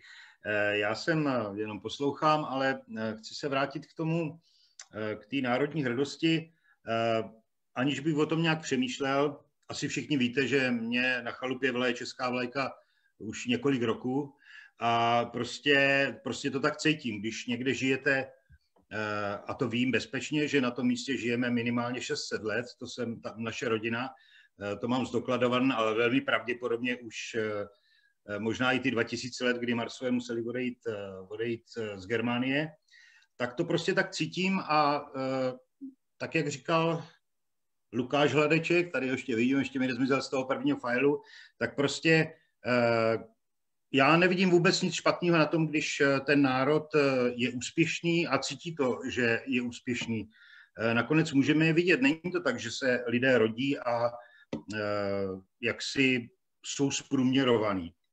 Určitě tady máme příklad Američanů nebo, nebo třeba Židů, jako myslím stát Izrael, který opravdu úspěšní jsou, jsou hrdí na to a jakoby ta, ta hrdost a to jejich, to jejich sebevědomí, to, že vědí, že v minulosti uspěli a že s největší pravděpodobností uspějí zase. U Izraele je to třeba, je to třeba ve smyslu útoku, útoku arabských států nebo palestinců na jejich zničení a Iránu a tak dále. A u Američanů samozřejmě ta hrdost na to, co dokázali v technice a kam se posunuli. Jinak se mi líbila ta poznámka o těch zákonech. Je to pravda, kdyby jsme poslouchali zákony, tak opravdu tady máme otrokářství, máme tady nevolnictví, Eh, rozhodně by nemohlo být odstraněný Reinhard Heydrich například, takže teď bohužel si nespomenu, který z těch sedmi zakladatelů amerických, těch otců zakladatelů to řekl, ale on vysloveně řekl, že povinností občana je vzepřít se špatnému zákonu. Ne ho poslechnout, ale jeho povinností ho neposlechnout. Vzepřít se mu a jít proti němu. A už jsem párkrát použil, použil tu větu, že Eh, velcí lidé a velké myšlenky vždycky šli proti proudu. Nikdy nešli s proudem, vždycky šli proti proudu a jedině ty něco dokázali. Samozřejmě naprostá většina jich to nedokázalo, ale jedině ty, které opravdu eh, byly v něčem inovativní, ať to byla věda nebo politika, tak ty eh, něco, něco dokázali. A ještě k tomu sporu, já si vzpomínám na jeden rozhovor Saši Vondry, bohužel si nespomínám, byl to s nějakým amíkem, a oni se opravdu asi tři hodiny bavili, Eh, Vondra tvrdil, že je, eh, že je eh, konzervativní liberál a ten američan tvrdil, že je liberální konzervativec a nad tím dokázali strávit opravdu několik hodin debaty, až toho samozřejmě nechali. A i my ve svobodných nejsme všichni stejní. Jednoduše, já se taky považuji za liberála, ale přitom vím, že s tím konzervativní hodnoty. Prostě jednoduše zdá se mi, že je rozumné, když je muž se ženou, Zdá se mi, že je rozumné, když člověk ctí matku nebo rodiče, zdá se mi rozumné, když tak vychovává svoje děti, že nedává úplnou volnost. Prostě v tomto, takhle to mám a musím říct, že mi to funguje, takže nějakým způsobem něco na tom eh, určitě bude. A jinak se ještě mladý pan kolega, jeho jméno si nevybavuju, jak mluvil o tom sčítání lidu, já jsem to někde psal. Eh, já jsem při každém sčítání lidu ten papír já jsem ani vlastně, jak, jak byl ve skránce, tak vždycky, jak chodí, tak jsem ho vyhodil a vůbec jsem se o to nestaral. A nikdy mi nepřišlo žádný upozornění. Oni samozřejmě neustále vyhrožují, ale ten stát je mohutný, ale přitom je naprosto neschopný. Takže já to tak udělám jako vždycky, protože nevím, komu je co do toho, jestli mám ledničku, nebo já nevím, na co se tam na všechno ptají. To, jak se jmenuju, to určitě vědějí. Takže prostě já to, já to jednoduše zase vyhodím, nikoho nenabádám. Ale prostě já to tak dělám a mám to vyzkoušený a vůbec nebudu trávit nějakých 10 nebo 15 minut vyplňování nějakých, eh, nějakých kolonek. Tak děkuji za prostor a loučím se. Tak jestli nás teď nějaký státní úředník poslouchal, myslím, že už na tebe nezapomenou, Jardo. No a možná, když jsme se bavili, možná, když jsme se bavili o těch státech, tak dneska, dneska to tak zkrátka je, že Eh, stát je tím základním, eh, základním územním celkem, který stanovuje pravidla. Ve Švýcarsku eh, jsou to možná menší území, tam je to konfederace, skládá se to trošku víc od spoda, ale dneska je to tak, že prostě primárně naši předci si vybojovali na našem území nějaká práva a když se obracíme k těm našim předkům a k našemu státu, tak možná, že tím vzdáváme i úctu tomu, že se tu relativně pohybujeme ve svobodné zemi a že třeba ty zbraňové zákony a, a svoboda slova a další, další věci, kterých si vážíme, a, takže tu jsou takový, jaký jsou a nejsou tu třeba nějaký jinačí. Luboš a Lukáš, nevím teďka, v jakém pořadí to bylo, tak a, možná, protože Luboše vidím víc vlevo, tak Luboš. Tak já jsem chtěl jenom velice stručně reagovat na Lukáše na téma uh, uh, národní, národní hrdost, ale protože Jarda Marsa už to víceméně řekl skoro celý za mě a já bych, já bych téměř souhlasil se vším, co tady, co tady řekl, tak jenom, jenom, jenom asi doplním, že pro mě, pro mě nějaká národní hrdost je důležitá ve chvíli, když já si tu, eh, tu hodnotu zvolím, když já jsem schopen si ji sám definovat jako, jako nějak racionálně, racionálně obhájenou jako nějakou sounáležitost, řekněme, s historií, s, s uměním, s kulturou, který, který, eh, která, na tom, která, na, která v tom národě vznikla, nějak se v tom národě rozvíjela po ty, po ty, eh, po ty stovky let. A že to není něco, co mi bylo, co mi bylo vnuceno, co mi bylo prostě vtlučeno do hlavy nějakou, nějakou propagandou nebo, nebo, nebo školským systémem. a v takovém případě podle mě eh, národní hrdost, pokud samozřejmě máme být na co, na co, na co prostě hrdí, tak je to velice, velice důležitá věc, protože pokud někdo ten, ten vlastně kontext, ve, ve kterým žiju, chce potom zničit, tak jsem ochoten ho nějakým způsobem bránit. Jo? A, a, a není podle mě náhoda, že téměř všechny levicové směry velice opovrhovaly myšlenkou nějaký, nějaký národní, nějakých národní, eh, národních hodnot. Takže, takže podle mě národní hrdost, pokud je racionálně obhájena, tak rozhodně patří mezi, mezi pravicové myšlenky a je potřeba si, eh, si je na pravici, na pravici udržet a, a nevzdávat se jich. A jenom velice stručně ke sčítání lidu. Já samozřejmě před těmi kolika, osmi lety, deseti lety jsem, jsem to sčítání bojkotoval taky. Hmm, pokud to jsem nedostal, nevím, jestli na mě zapomněli, nebo, nebo co, se, co se stalo. A rozhodně mám v plánu tenhle ten nesmysl, tenhle ten nesmysl bojkotovat i teď. A Jarda Marsa říkal, že, že nikoho, nikoho nevyzývá. Já bych všechny, co nás sledují, velice rád vyzval, ať, ať to prostě bojkotujou. Jo. To si stát nesmí, nesmí prostě dovolovat, aby, aby pod pohrůžkou násilí po nás vyžadoval vyplňování nějakých, nějakých papírů. Jo. Tak, takže tak. Luboši, děkuju. Lukáš může navázat. Díky moc. Já zkusím být stručnější. Eh, já se nemůžu zbavit dojmu, že v okamžiku, kdy mluvíme o národu, tak mi tam vlastně tak jako pod povrchem proplouvá ten kolektivismus. Jo. Prostě národ je kolektiv, to mi asi nikdo nevymluví. A eh, já jsem úplně v pohodě, pokud ten kolektiv pracuje v rámci nějakého, nějaký sounáležitosti vlastně dobrovolně a je to nějak jako je to, je, je to jako chtěný, jo. já sice teda nemám, neviděl jsem nikoho, kdo by si vyvěsil tady u nás karlovarskou vlajku, ale jako český vlajky si občas někdo vyvěsí a Ježíš Maria je to vlastně super, jo. každý ať si vyvěšuje, co se mu líbí a co mu připadá fajn, já uh, mám v úctě stejně tak myslitele prostě český jako jakýkoliv jiný a to, že se zrovna narodil na tom plácku, jich v mý hierarchii jakoby nějak nepřidává ani neubírá. Jo? Myslím si, že to je vlastně argument, který je jako to, že se to tady narodil, pro mě nemá nějakou vyšší hodnotu. Jo? Je to vlastně podle kavové břitvy trošku jako zbytečný. Ale to je jenom pro mě. Jo? Uh, já si myslím, že mít rád svoji rodinu, já samozřejmě taky, že bych jako každý ráno kopnul do svého syna, to teda nedělám, jo. Možná začnu, nevím, bych měl. Ale eh, jako taky samozřejmě miluju svou rodinu, uh, miluju lidi, kteří jsou kolem mě, který jsem si vybral do svého okruhu a uh, já si myslím, že je to naprosto v pohodě a je to vlastně přirozený, je to ještě jako dáno nějakýma genama asi v nás, ale jako kde mi to začíná hrozně drhnout je v okamžiku, kdy to začneme považovat za nějaký národní, jako celo, celospolečenský diskurs. Jo. Řekneme, ano, tatínek, maminka by měli vypadat takhle, eh, prostě rodina by měla mít zhruba tak asi dvě děti, což by bylo fajn, doma jednou je trošku divnej, jo, a to mě malinko jako děsí, tyhle ty tendence a tyhle ty jako posuny, takže já si vážím každého, kdo si dokáže vážit svý rodinu, chovat se obecně k lidem, a jim jedno, jestli jsou zase rodina nebo ne, eh, nějak jako fajn, ale proč bychom z toho měli dělat nějaký jako národní plán. Jo? Já se spíš jakoby kloním k termínu sounáležitost, kdy prostě ty lidi chtějí být nějak spolu, tak spolu jsou a jako důvody, které jim k tomu patří, eh, jako jak tomu vedou, jsou vlastně jejich. Jo? A nechci, aby mě někdo tlačil ty svoje a já nechci někomu tlačit ty moje zase. Jo? Uh, Uh, takže vnucování tradic mě trošku jako, jako trápí. Ale jakoby, když se vrátím vlastně zase k té ještě úvodní myšlence, já jsem dostal takový nápad, já nevím, jestli to nějak budete ostatní považovat za, za něco, co by, s čím byste souhlasili nebo ne, ale já si totiž myslím, že bych skoro, skoro bych dal rovnítko mezi pravice a sebevědomí.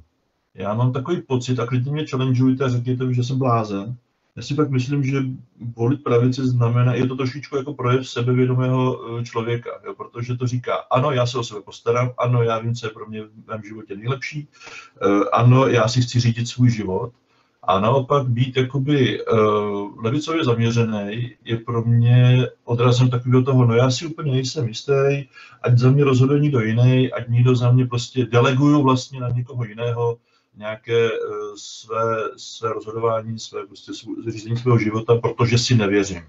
Takže já bych se obecně možná klonil, teďka už jako malinko přesahnu, protože mi to téma blízké jako do marketingu, tak když budeme propagovat naší stranu, já bych těm lidem začal vracet sebevědomí. To je takový jenom, taková jenom myšlenka vystřelená do budoucna. Děkuji.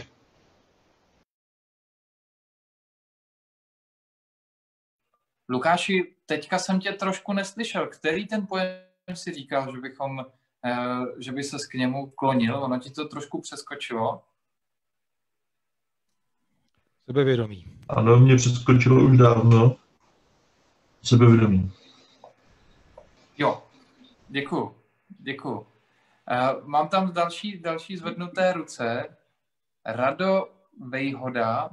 Tak uh, Rado, máte slovo a možná už i o tom, jak mluvil uh, Luboš a potom, potom Lukáš, tak mě napadá, že vlastně Luboš sice říkal, že uh, většinou teďka dnes eh, ti socialisti a kolektivisti chtějí bourat ty národní hranice a vyhovuje jim to, tak já mám pocit, že oni, oni to berou spíš tak, že vždycky volí tu cestu, která v tu chvíli se jim zdá snažší a že určitý socialisti ve 30.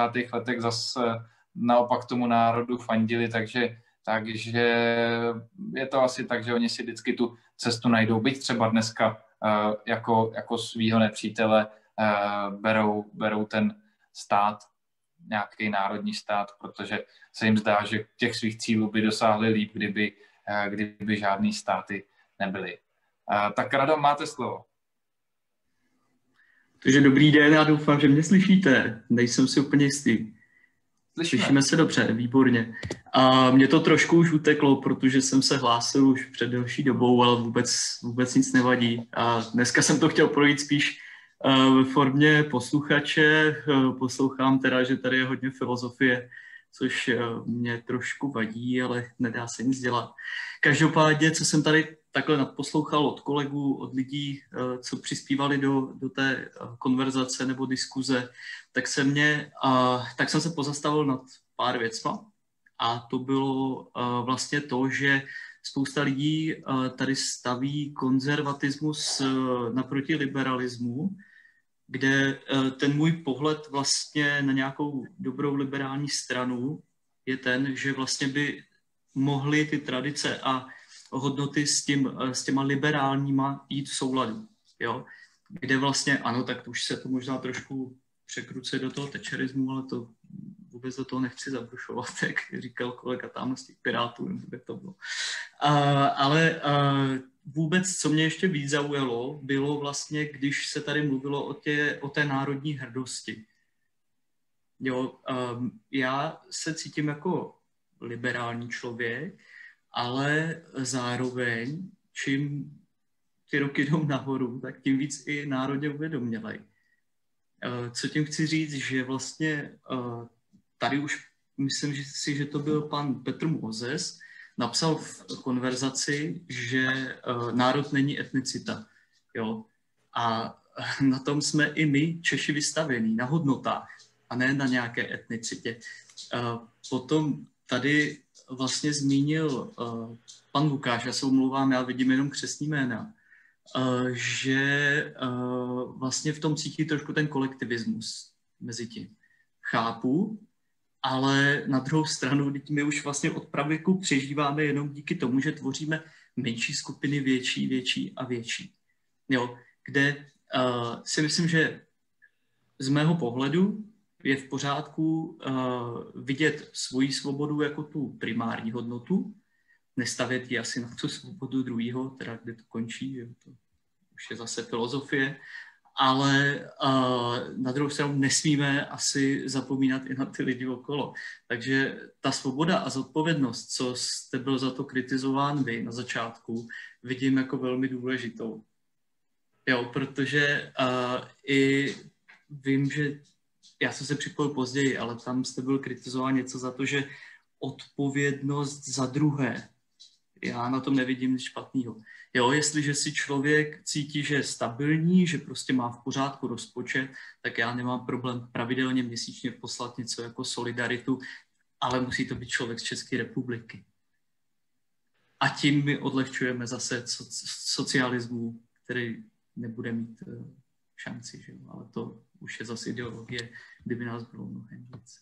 Takže jenom spíš otázka do placu, jaký jsou tady pohledy na neoliberalismus a vůbec jak ho chápete. Děkuji.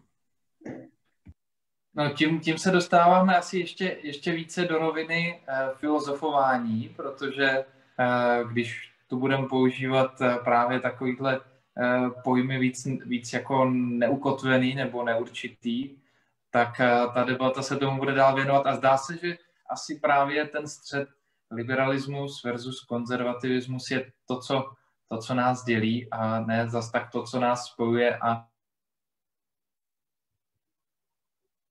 vlastně taky v podstatě neúplně spojuje. Dominik H. má zvednutou ruku a, a dál potom Lucie a MC. Tak eh, Dominiku, máš slovo a potom případně Lucie. Jo, tak dobrý den, ahoj, tady Dominik Hrubý, já jsem si nepřenastavil, nepřenastavil asi jméno z nějakého minulého Zoomu, já všechny zdravím a děkuji za účast eh, každému, kdo, kdo přišel a Liborovi za moderování. Eh, já jenom se, jsem se chtěl připojit do té diskuze ohledně toho právě liberalismu, konzervatismu a takhle. Ty pojmy samozřejmě si každý může definovat různě a, a není to asi nic proti ničemu a každý to chápeme různě. A já se jako shoduju i se spousta předřečníkama, ale vypích bych to, že jako mě ta pravice, jak já ji chápu, tak je to prostě zmenšování moci státu a prostě veřejné moci, ať už na jakýkoliv úrovni. A nakonec z toho prostě zbyde ta svoboda, že.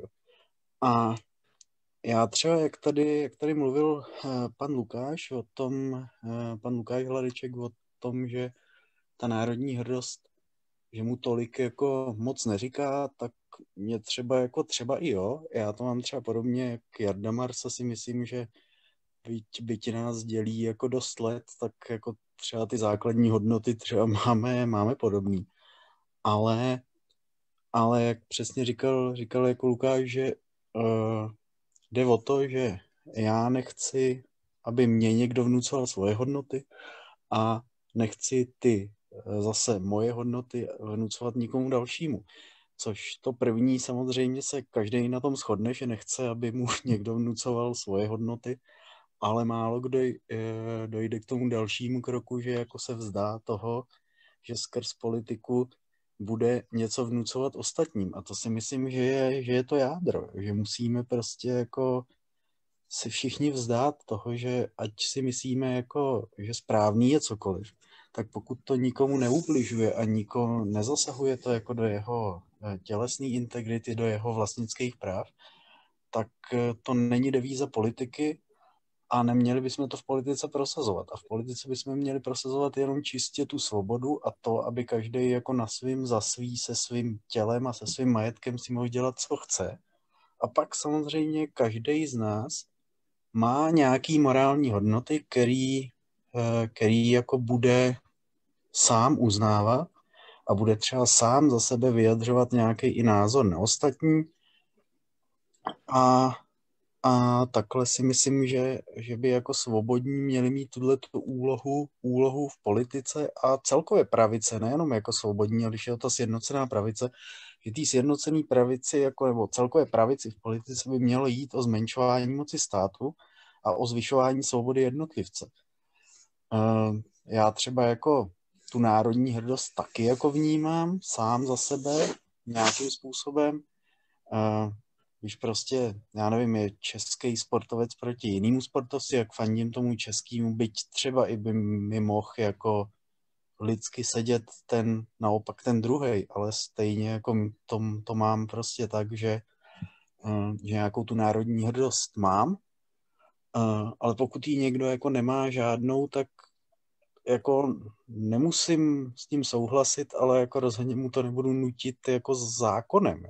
Stejně tak jako já si taky myslím, že mám, mám prostě normálně jako přítelkyni a, a vyhovuje mi to, ale pokud někdo jako chlap chce žít s chlapem a nebo jako chlap chce žít jako s dalšíma dvěma chlapama a osmi ženskýma, tak, tak jako, já nevím, asi, asi jako s tím nemám problém. Jo. Asi nebudu to kopírovat, tenhle ten vzorec a bude mi to připadat trošku ujetý třeba eh, v některých těch, v těch eh, konstelacích, ale rozhodně to nebudu chtít eh, nějak prosazovat, prosazovat skrz legislativu a skrz politiku. A tohle to si myslím, že znamená ta pravice. A, a to, to, je, to je o té svobodě jednotlivce.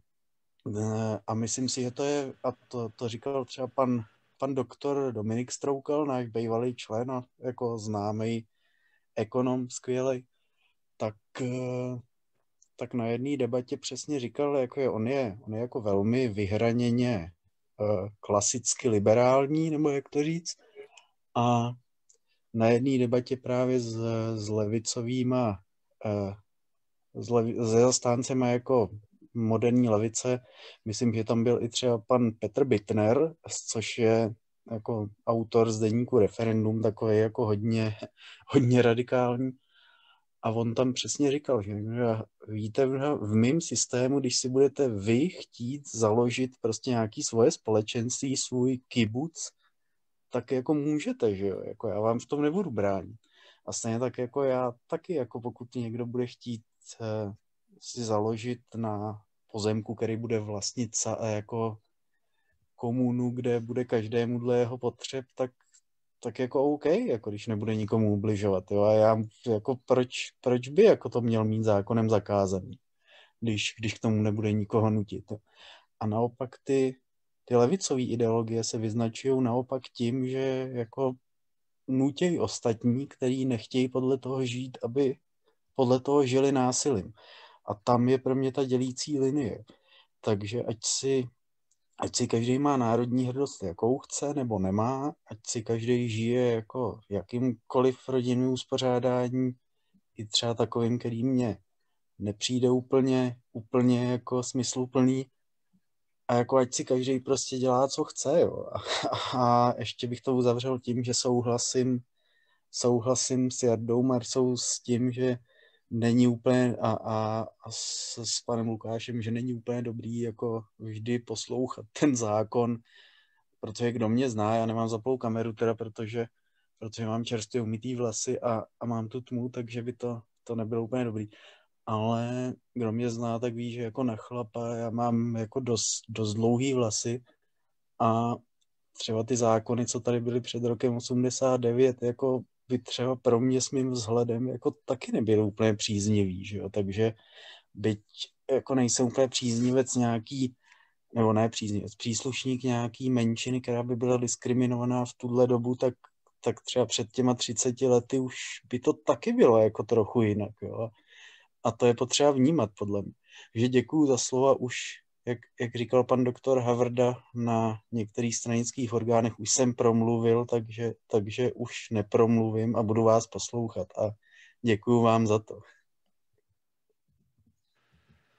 Děkuji, myslím, že si moc hezky pomenoval to, že uh, ti levičáci a ti, kteří chtějí ovládat naše životy, tak uh, ti to bez nás nezvládnou, ti to nezvládnou bez našich daní, zatímco pravičáci naopak by se bez jejich daní a bez jejich svobody a, a bez jejich podvolování se uh, vlastně našim pravidlům uh, by se obešly. Takže je tam asi rozdíl v té, v té možnosti uh, tolerance a soužití dvou přístupů, kdy ten náš, ten jejich umožňuje mnohem s nás. Lucie se hlásila a potom, potom MC, jo, to je vlastně Mirek, takže Lucie, máte slovo. Jo, já jsem se chtěla, nebo tak nějak vyjádřit, nebo zkusím se vyjádřit taky nějak tak ke všemu, co tady teďka zaznělo. Uh, co se týče uh, té národní hrdosti, já třeba to vnímám podobně jako pan Lukáš, taky nejsem úplně nějaký nacionalista, jako bych uh, nevím, milovala národ, nevím, podmívala si nebo tak, ale v dnešní době si myslím, že jakoby ten národ nebo ten stát přece jenom nějakým způsobem zaručuje to sebeurčení těm lidem. A přesto, že teda ta svoboda nějakým způsobem ubývá, takže představuje určitý nárazník před, tím, jakoby před těma národními tendencemi těma a tlakama, co tu jsou. Takže si nemyslím, že je úplně dobrý ho úplně odepisovat. Nicméně souhlasím i s tím, že by měl mít co nejméně jakoby pravomocný ovlivňovat lidem život. No, uh, jo, a ještě jsem chtěla uh, se vyjádřit k tomu sebevědomí, tak uh, tam taky souhlasím naprosto, že je to možná ne, ne ani tak o sebevědomí, ale o nějaký vnitřní sebelásce nebo něčím takovým. Uh, mluvil o tom i pan Klaus, že jo. Myslím, že, že jako to pojmenoval naprosto přesně a souhlasím. Děkuju, děkuju. Máme posledních 25 minut. A myslím si, že tady jsme se hodně vraceli k Lukášovi. Lukáš teda pro ty, kteří nás sledují třeba jenom v live streamu, tak Lukáš tady píše, aby, aby to bylo známo, že fandí Ester Ledecký, i když se nehlásí tolik k, k našemu nějakému národnímu cítění, tak zase abychom ho úplně nekřižovali. E, nicméně posuneme se dál, posuneme se dál v té debatě. Mirek Červenka, potom Jiří Okropec.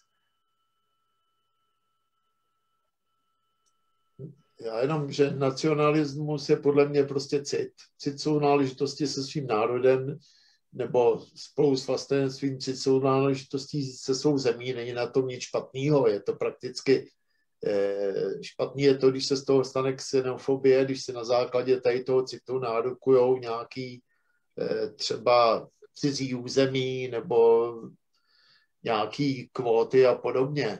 A podle mého bychom se měli ale v té diskuzi už s tím vzhledem tomu času posunout taky k nějakým praktičtějším věcem, protože eh, tady se ukazuje, mně přijde v té diskuzi, že prostě je veliký problém, aby strana založená na drtí většině individualistech eh, mohla fungovat v nějakým masovém měřítku. Jako. To prostě je veliký problém, který asi už před vedením svobodných stojí dlouho.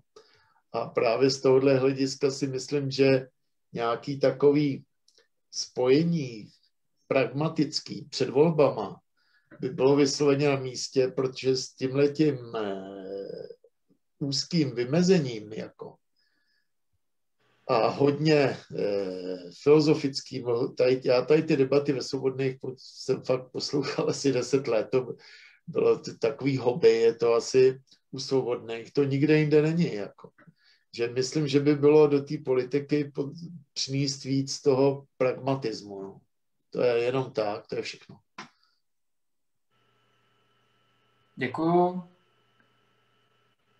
Jiří zmizel se svojí packou zvednutou, tak eh, přemýšlím, možná, možná má ještě něco na srdci, jenom packa ne. Tak dobrý večer, dobrý večer a teda k tomu něco řeknu. Já jsem už nechtěl dále protahovat to téma národní hrdosti. Mám pocit, že už tady bylo řečeno mnohé a, a měl jsem pocit, že, že by se diskuze mohla dále posunout, ale když, když jste všichni o tom začali tak diskutovat, tak přece jenom se k tomu ještě, ještě krátce taky vyjádřím za sebe.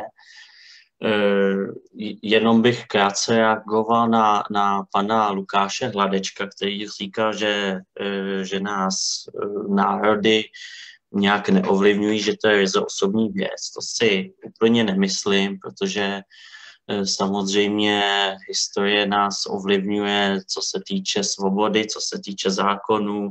Třeba Velká Británie Británie byla v minulosti velice úspěšným národem, proto nyní eh, všichni následovníci mohou mluvit jazykem, kterým se mluví po většině eh, části světa a tak dále. Ale to hlavní, co jsem chtěl říct, je, si myslím, že e, národní hrdost, nebo nazývejme to třeba láska k vlasti, že je naprosto nezbytná věc. My žijeme v demokratické zemi, a e, demokracie je vláda lidu, jak už sám název napovídá. A to znamená, že my sami se rozhodujeme e, o e, našem státu, o našich zákonech, ale třeba i také o kultuře a je jedno, jestli aktivním způsobem, že vstoupíme do, eh, aktivně do politiky, anebo pasivním způsobem eh, pomocí hlasování ve volbách. A pokud nemáme vztah k tomu společenství, k tomu národu, o němž hlasujeme a o, o jehož budoucnosti rozhodujeme, tak si myslím, že že takový stát nemůže účinně fungovat. Že jsem přesvědčen o tom, že je nezbytné mít rád to, co řídím, o čem hlasuji, o čem rozhoduji. Samozřejmě souhlasím s mými předřečníky, Luboš to tady zmiňoval, ale myslím, že nejenom on, že samozřejmě E, národní hrdost nejde vynucovat. To musí být opravdu osobní, musí to být z člověka, nelze nějakým školským systémem vynucovat, že musíme mít rádi tyto symboly a, a tato zřízení a že musíme milovat aktuální stav, to určitě ne, ale pokud chceme se nějakým způsobem účastnit vlády lidu, třeba aktivně volit, tak si myslím, že je nezbytné mít rád náš stát a já bych, mám tady víc bodů, ale já to zkrátím, ať, ať nejsem dlouhý. Děkuju. Děkuju. Uh, mám tady v chatu nebo v komentářích nějakou otázku od pana Tyla. Jestli nás zajímá jeho názor, tak eh, možná ještě takhle prostřednictvím livestreamu určitě nás váš, zám, eh, nás váš názor zajímá, takže Eh, pokud byste ho chtěl sdělit, můžete se přihlásit, ještě pořád můžete, máme, máme posledních 20 minut a zaujala mě celkem myšlenka Mirka, kdy říkal, že eh, strana, která je, nebo vůbec názorový proud, který se eh, skládá z mnoha individualistů, tak těžko může držet pohromadě. Myslím si, že v tomhle směru právě ta současná situace nám dává poměrně velkou příležitost si uvědomit, že tím, kdo nejvíc právě lidem, kteří sami věří ve svoji vlastní svobodu a odpovědnost, tak těm, kdo jim nejvíc škodí, tak eh, je právě, právě vláda.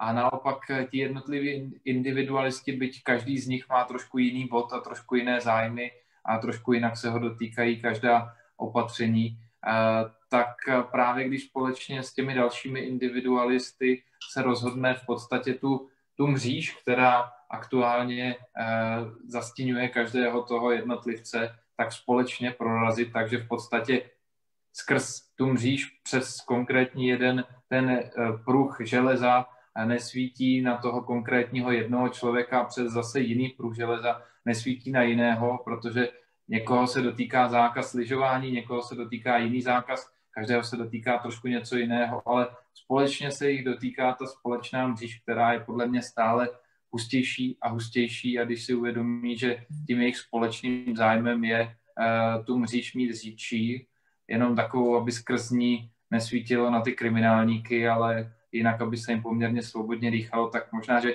najdou společný zájem, proč táhnout za jeden pro vás. Máme tady přihlášeného RV a protože jsem si vlastně uvědomil, že uh, jsem do teďka viděl hlavně jenom ty, kteří měli obraz, ale my tu máme celkem 38 přihlášených, tak budu ještě pozorněji sledovat, jestli se někdo z těch, co nemá obraz, přihlásí o slovo. Takže jestli je tu RV, tak mu dávám slovo, protože má zvednutou ruku.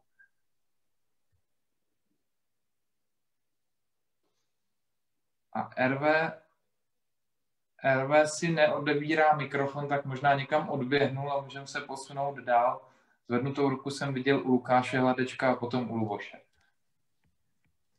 Děkuji, já zkusím své příspěvky už zkracovat. Eh, eh, hlavně chci poděkovat všem, kteří mě challengeují a kteří se mnou nesouhlasí, protože jenom to mě může posunout a posílit a argumentačně jak zaostřit, anebo, jak jsem říkal, nebo posunout. Takže prosím, pokračujte v tom, moc si toho vážím.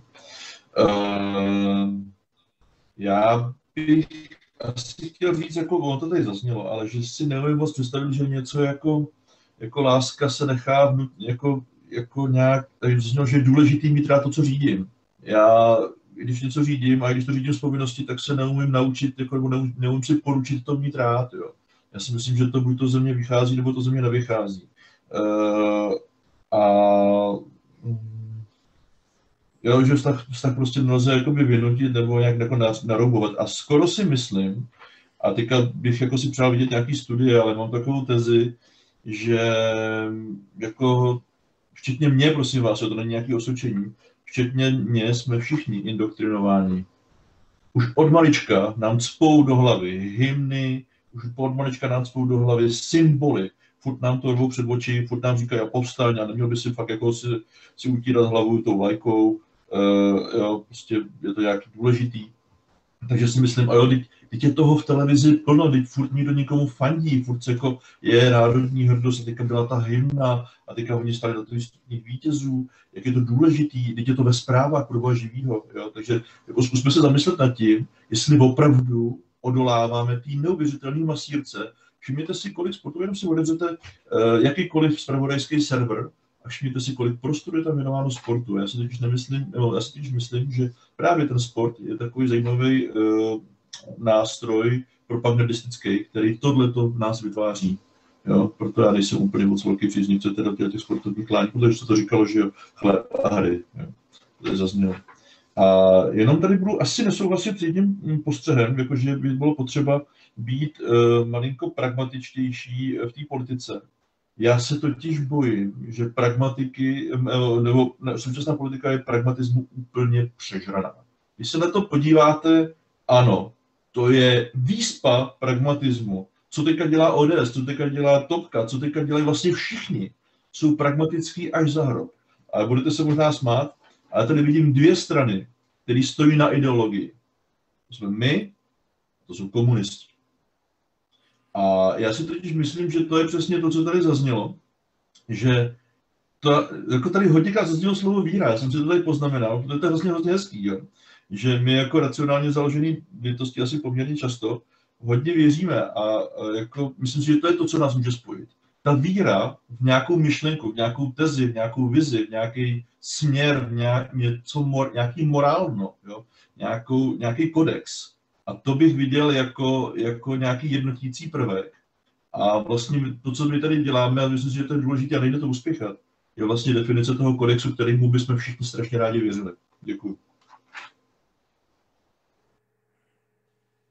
Tak, eh, Lukáši, eh, děkuju, děkuju za ten příspěvek. Myslím si, že problémem současné politiky je, že se snaží být strašně nepolitická, pak je teda taková nekonzistentní až falešná a vlastně může dělat každý s každým koalici, protože když se dohodnou, že jim to vyhovuje, tak vlastně opustí, opustí všechny své ideály, nebo respektive nikdy žádné ideály neměli, neprezentovali, tak se jim to potom s nás skládá dohromady. Takže tohleto, tohleto je možná další point, eh, proč vlastně se tu bavíme o spojené pravici a nebojíme se, nebavíme se jenom o spojeném něčem, ale je tady určitá poptávka, aby to bylo skutečně, skutečně definované a taky trošku předvídatelné eh, to, co by se mělo spojovat. Protože když se spojíme na ad hoc zájmu dostat se do sněmovny, tak se skutečně můžeme eh, spojit úplně, úplně s každým, ale není to pro lidi záruka vlastně v podstatě vůbec ničeho.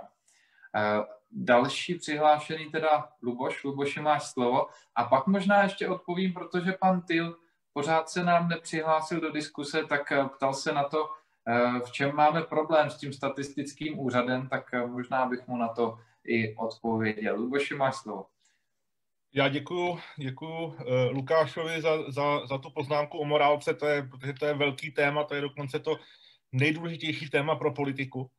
A já bych se skoro přimlouval, aby jedna z příštích svobodných hospod byla právě na téma morálka a politika, nebo morálka versus politika protože, protože tam určitě k tomu budeme mít spoustu, spoustu věcí, co k tomu říct. A ještě bych reagoval na Mirka Červenku, protože on vlastně mi poskytl takový, takový, eh, takový oslý můstek k tomu dnešnímu tématu, tím, že řekl, že strana, která je založená na nějakém, řekněme, individualismu, tak nemůže být masová. Já jsem, ten, já jsem, jsem tu poznámku chápal jak, eh, ve smyslu masovosti eh, k těm příznivcům, k těm voličům, k těm k těm lidem, kteří tu stranu podporují a mají podporovat a mají volit. A já bych nebyl v tomto ohledu tak skeptický, protože pokud taková strana bude, bude řešit nějaký zásadní problém, který ty lidi mají, tak proč by nemohla být masová? Asi to nebude masová ve smyslu, ve smyslu průvodů rudých gard v Číně, ale bude masová ve smyslu podpory. A pokud teďka vidíme, že lidé mají obrovský problém s tím, jak jim ubývá svobody, a dokonce si to stále víc lidí uh, uvědomuje tváří v tvář takovým lidem, jako je Hamáček a Babiš. A stále víc lidí to prostě pociťuje, že, tu, že o tu svobodu přichází a začíná se ptát, jak je, jak je to možné a co s tím budeme dělat. A cítí to, že, je, že, že, že to je problém. Tak my, kteří máme tu svobodu vydefinovanou, jim můžeme pomoct tento problém vyřešit. Takže proč by svobodní, proč by jakákoliv pravicová strana, která bude hájit svobodu a je zároveň, zároveň individualistická, nemohla být ve smyslu podpory v podstatě masovou stranou. Jo? Tak já bych na tom, já bych na tom klidně tu další práci pro svobodné nebo pro jakoukoliv pravicovou stranu založil a myslím, že to je něco, na čem se dá založit i další spolupráce, zvláště teď, když máme, když máme volební rok. Děkuji. Děkuji. Přihlášená je ještě uh, Lucie. Byl asi omyl, já jsem to tam asi nechala už předtím. Jo, dobře, tak, tak ještě zvednutou ruku má Mirek. Tak Mirku, jestli chceš nějak reagovat, nebo to taky zůstalo? No taky zůstalo. Já jenom odpovím Lugošovi, že tou masovostí prostě já jsem myslel masovou členskou základnu a jí, jí odpovídající jako úspěch. A mně prostě přijde, že na tom bázi individualismu to prostě nejde, že se musí ta strana trošku jako, jak to říct, pragmaticky podbízet tomu kolektivu voličů. Jo, všechno. Já nevím, jak tu, jak tu ruku smazat. Jo, no tak eh, snad, snad se to když tak nějak povede, já si to budu když tak pamatovat, že to není žádná novinka, ta zvednutá ruka u tebe. Myslím si, že těch stran, které se podbízejí kolektivismu, bychom našli na naší politické scéně poměrně, poměrně hodně. Samozřejmě jsme v demokracii, to znamená, že eh, váha těch hlasů všech je stejná, ale v podstatě ten, kdo chce být svobodný a uznává tu svobodu, tak eh, je si vědomý i toho, že vlastně o některých věcech by se vůbec nikdy hlasovat nemělo. Prostě o některých věcech by mělo být dokonce zakázaný hlasovat. Takže to je ta úcta ke svobodě, to je ta úcta k tomu, že se tři kluci nesejdou u večeře a neodhlasují, že si jedno jehně teda dneska večer dají. A protože máme 21 eh, hodin 52 minut, tak je tu prostor v podstatě o nějakou poslední myšlenku, případně už to můžu schrnout a pozvat na příště, ale kdyby tu byl ještě nějaký zájemce, tak ho vyzývám teď, aby narychlo zvednul ruku, byť virtuální nebo i svoji fyzickou ruku, já ho uvidím, pokud má kameru. Tak Jarda si odebral, odebral si za stínění mikrofonu, možná chce Jarda něco říct a pak ještě Karel. No tak já jsem zase zapomněl vypnout mikrofon, ale myslím si, myslím si Libore, že bys to eh, měl udělat ty, protože eh, tady jsou různý názory a eh, vždycky ten poslední, jak si to poslední slovo ti zůstane v tom, v té hlavě, takže myslím si, že jsi dostatečně kvalifikovaný na to, abys to zhrnul a abys to nějakým způsobem uzavřel. Sedm minut, já nevím, jestli chceš dát prostor, ale rozhodně to uzavři ty, jo? Určitě, určitě. Dám ještě, dám ještě prostor teda Karlovi a potom to nějak uzavřu. Jako, já si myslím, že tady dneska bylo řečeno mnoho a myslím si, že každý z nás, kdo tady byl, by měl hlavně napsat třeba Liborovi, jako, jakou má vizi pravice, co chce od státu, jestli má být menší, větší a nějak to schrnout, protože dneska to bylo spíš takový až moc akademický a myslím si, že pro spoustu lidí takový o ničem. Neberte to jako hate, ale prostě podle mě se to trochu vychýlo k tématu.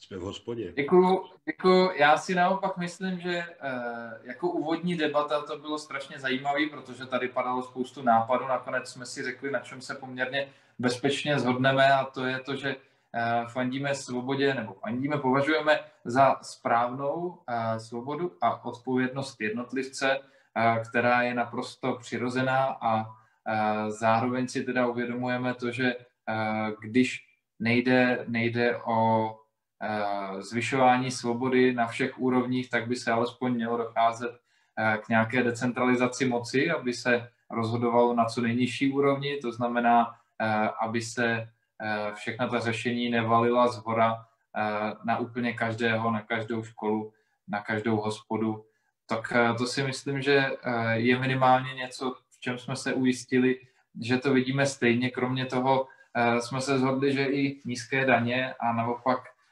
co nejméně dotací je něčím, co nás spojuje. A pak tu bylo možná pár věcí, na kterých jsme se tolik nezhodli, nicméně i to je posun, i to jsme si museli vyříkat, takže podle mě to rozhodně, rozhodně bylo prospěšné. A možná to působilo jako think tank, ale eh, fakt je ten, že my tu vizi eh, teďka formulací trošku změníme a eh, uděláme jinak, ale fakt je ten, že strana musí mít jednoznačnou svoji vizi, musí mít sepsanou a aby všichni věděli, s čím se stotožňují, když jsou v takové straně za čím jdou, co je jejich maják v dáli. Takže tohle to si určitě uvědomujeme. Eh, dál už s tím v podstatě ztrácet čas nechceme, protože eh, to je sformulované, je to na papíře, dočeše se to a pak to samozřejmě zveřejníme, tak aby každý věděl, co od nás může čekat, jak by třeba mohla vypadat Česká republika v roce 2050, kdyby se nám naší vizi dařilo plnit. No ale co nás čeká, tak eh, to je za týden povídání Možná o těch 12 letech o tom, co se nám dařilo, které akce bychom měli opakovat, třeba Den daňové svobody, akce daně před finančními úřady, které formáty se vám líbí, jestli chcete pokračovat ve svobodné hospodě, jestli se vám líbí svobodná poradna, eh, jestli se vám líbí třeba svobodný beran, který eh, je pořád takový diskusní, ukáže, ukážeme ukázku z něj, nebo další díl bude už zítra. Takže pobavíme se zkrátka o tom, co se nám dařilo dělat dobře a taky se nám, taky třeba budeme poslouchat, která témata nebo uh, které uh, formáty bychom mohli zavádět znova, co by se vám zdálo, že uh, by pro vás mohlo být užitečné. Takže to je pozvánka na příště.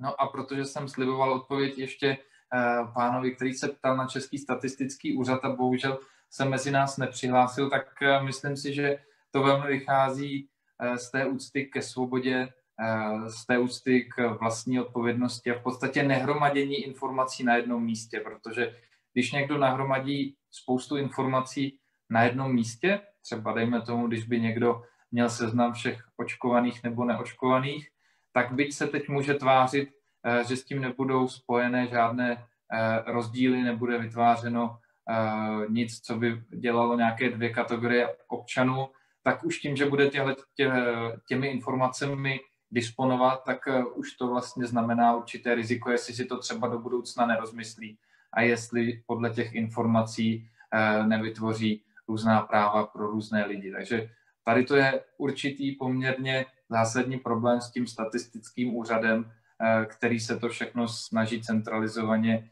zhromažďovat. A vlastně žádný jiný význam toho sčítání nevím. Žádný jako jiný zásadní význam toho, proč na sebe znovu ještě jednou sdělujeme ty informace, které většinou uh, už stát zná, tak nevím, než to, aby se to všechno centrálně dalo na jedno místo a pak se z toho vytvářelo nějaké sociální inženýrství a, a mohlo, se, mohlo se plánovat, jakým způsobem uh, se bude ovlivňovat život těm, těm a těm lidem podle toho, do jakých škatulek je dáme.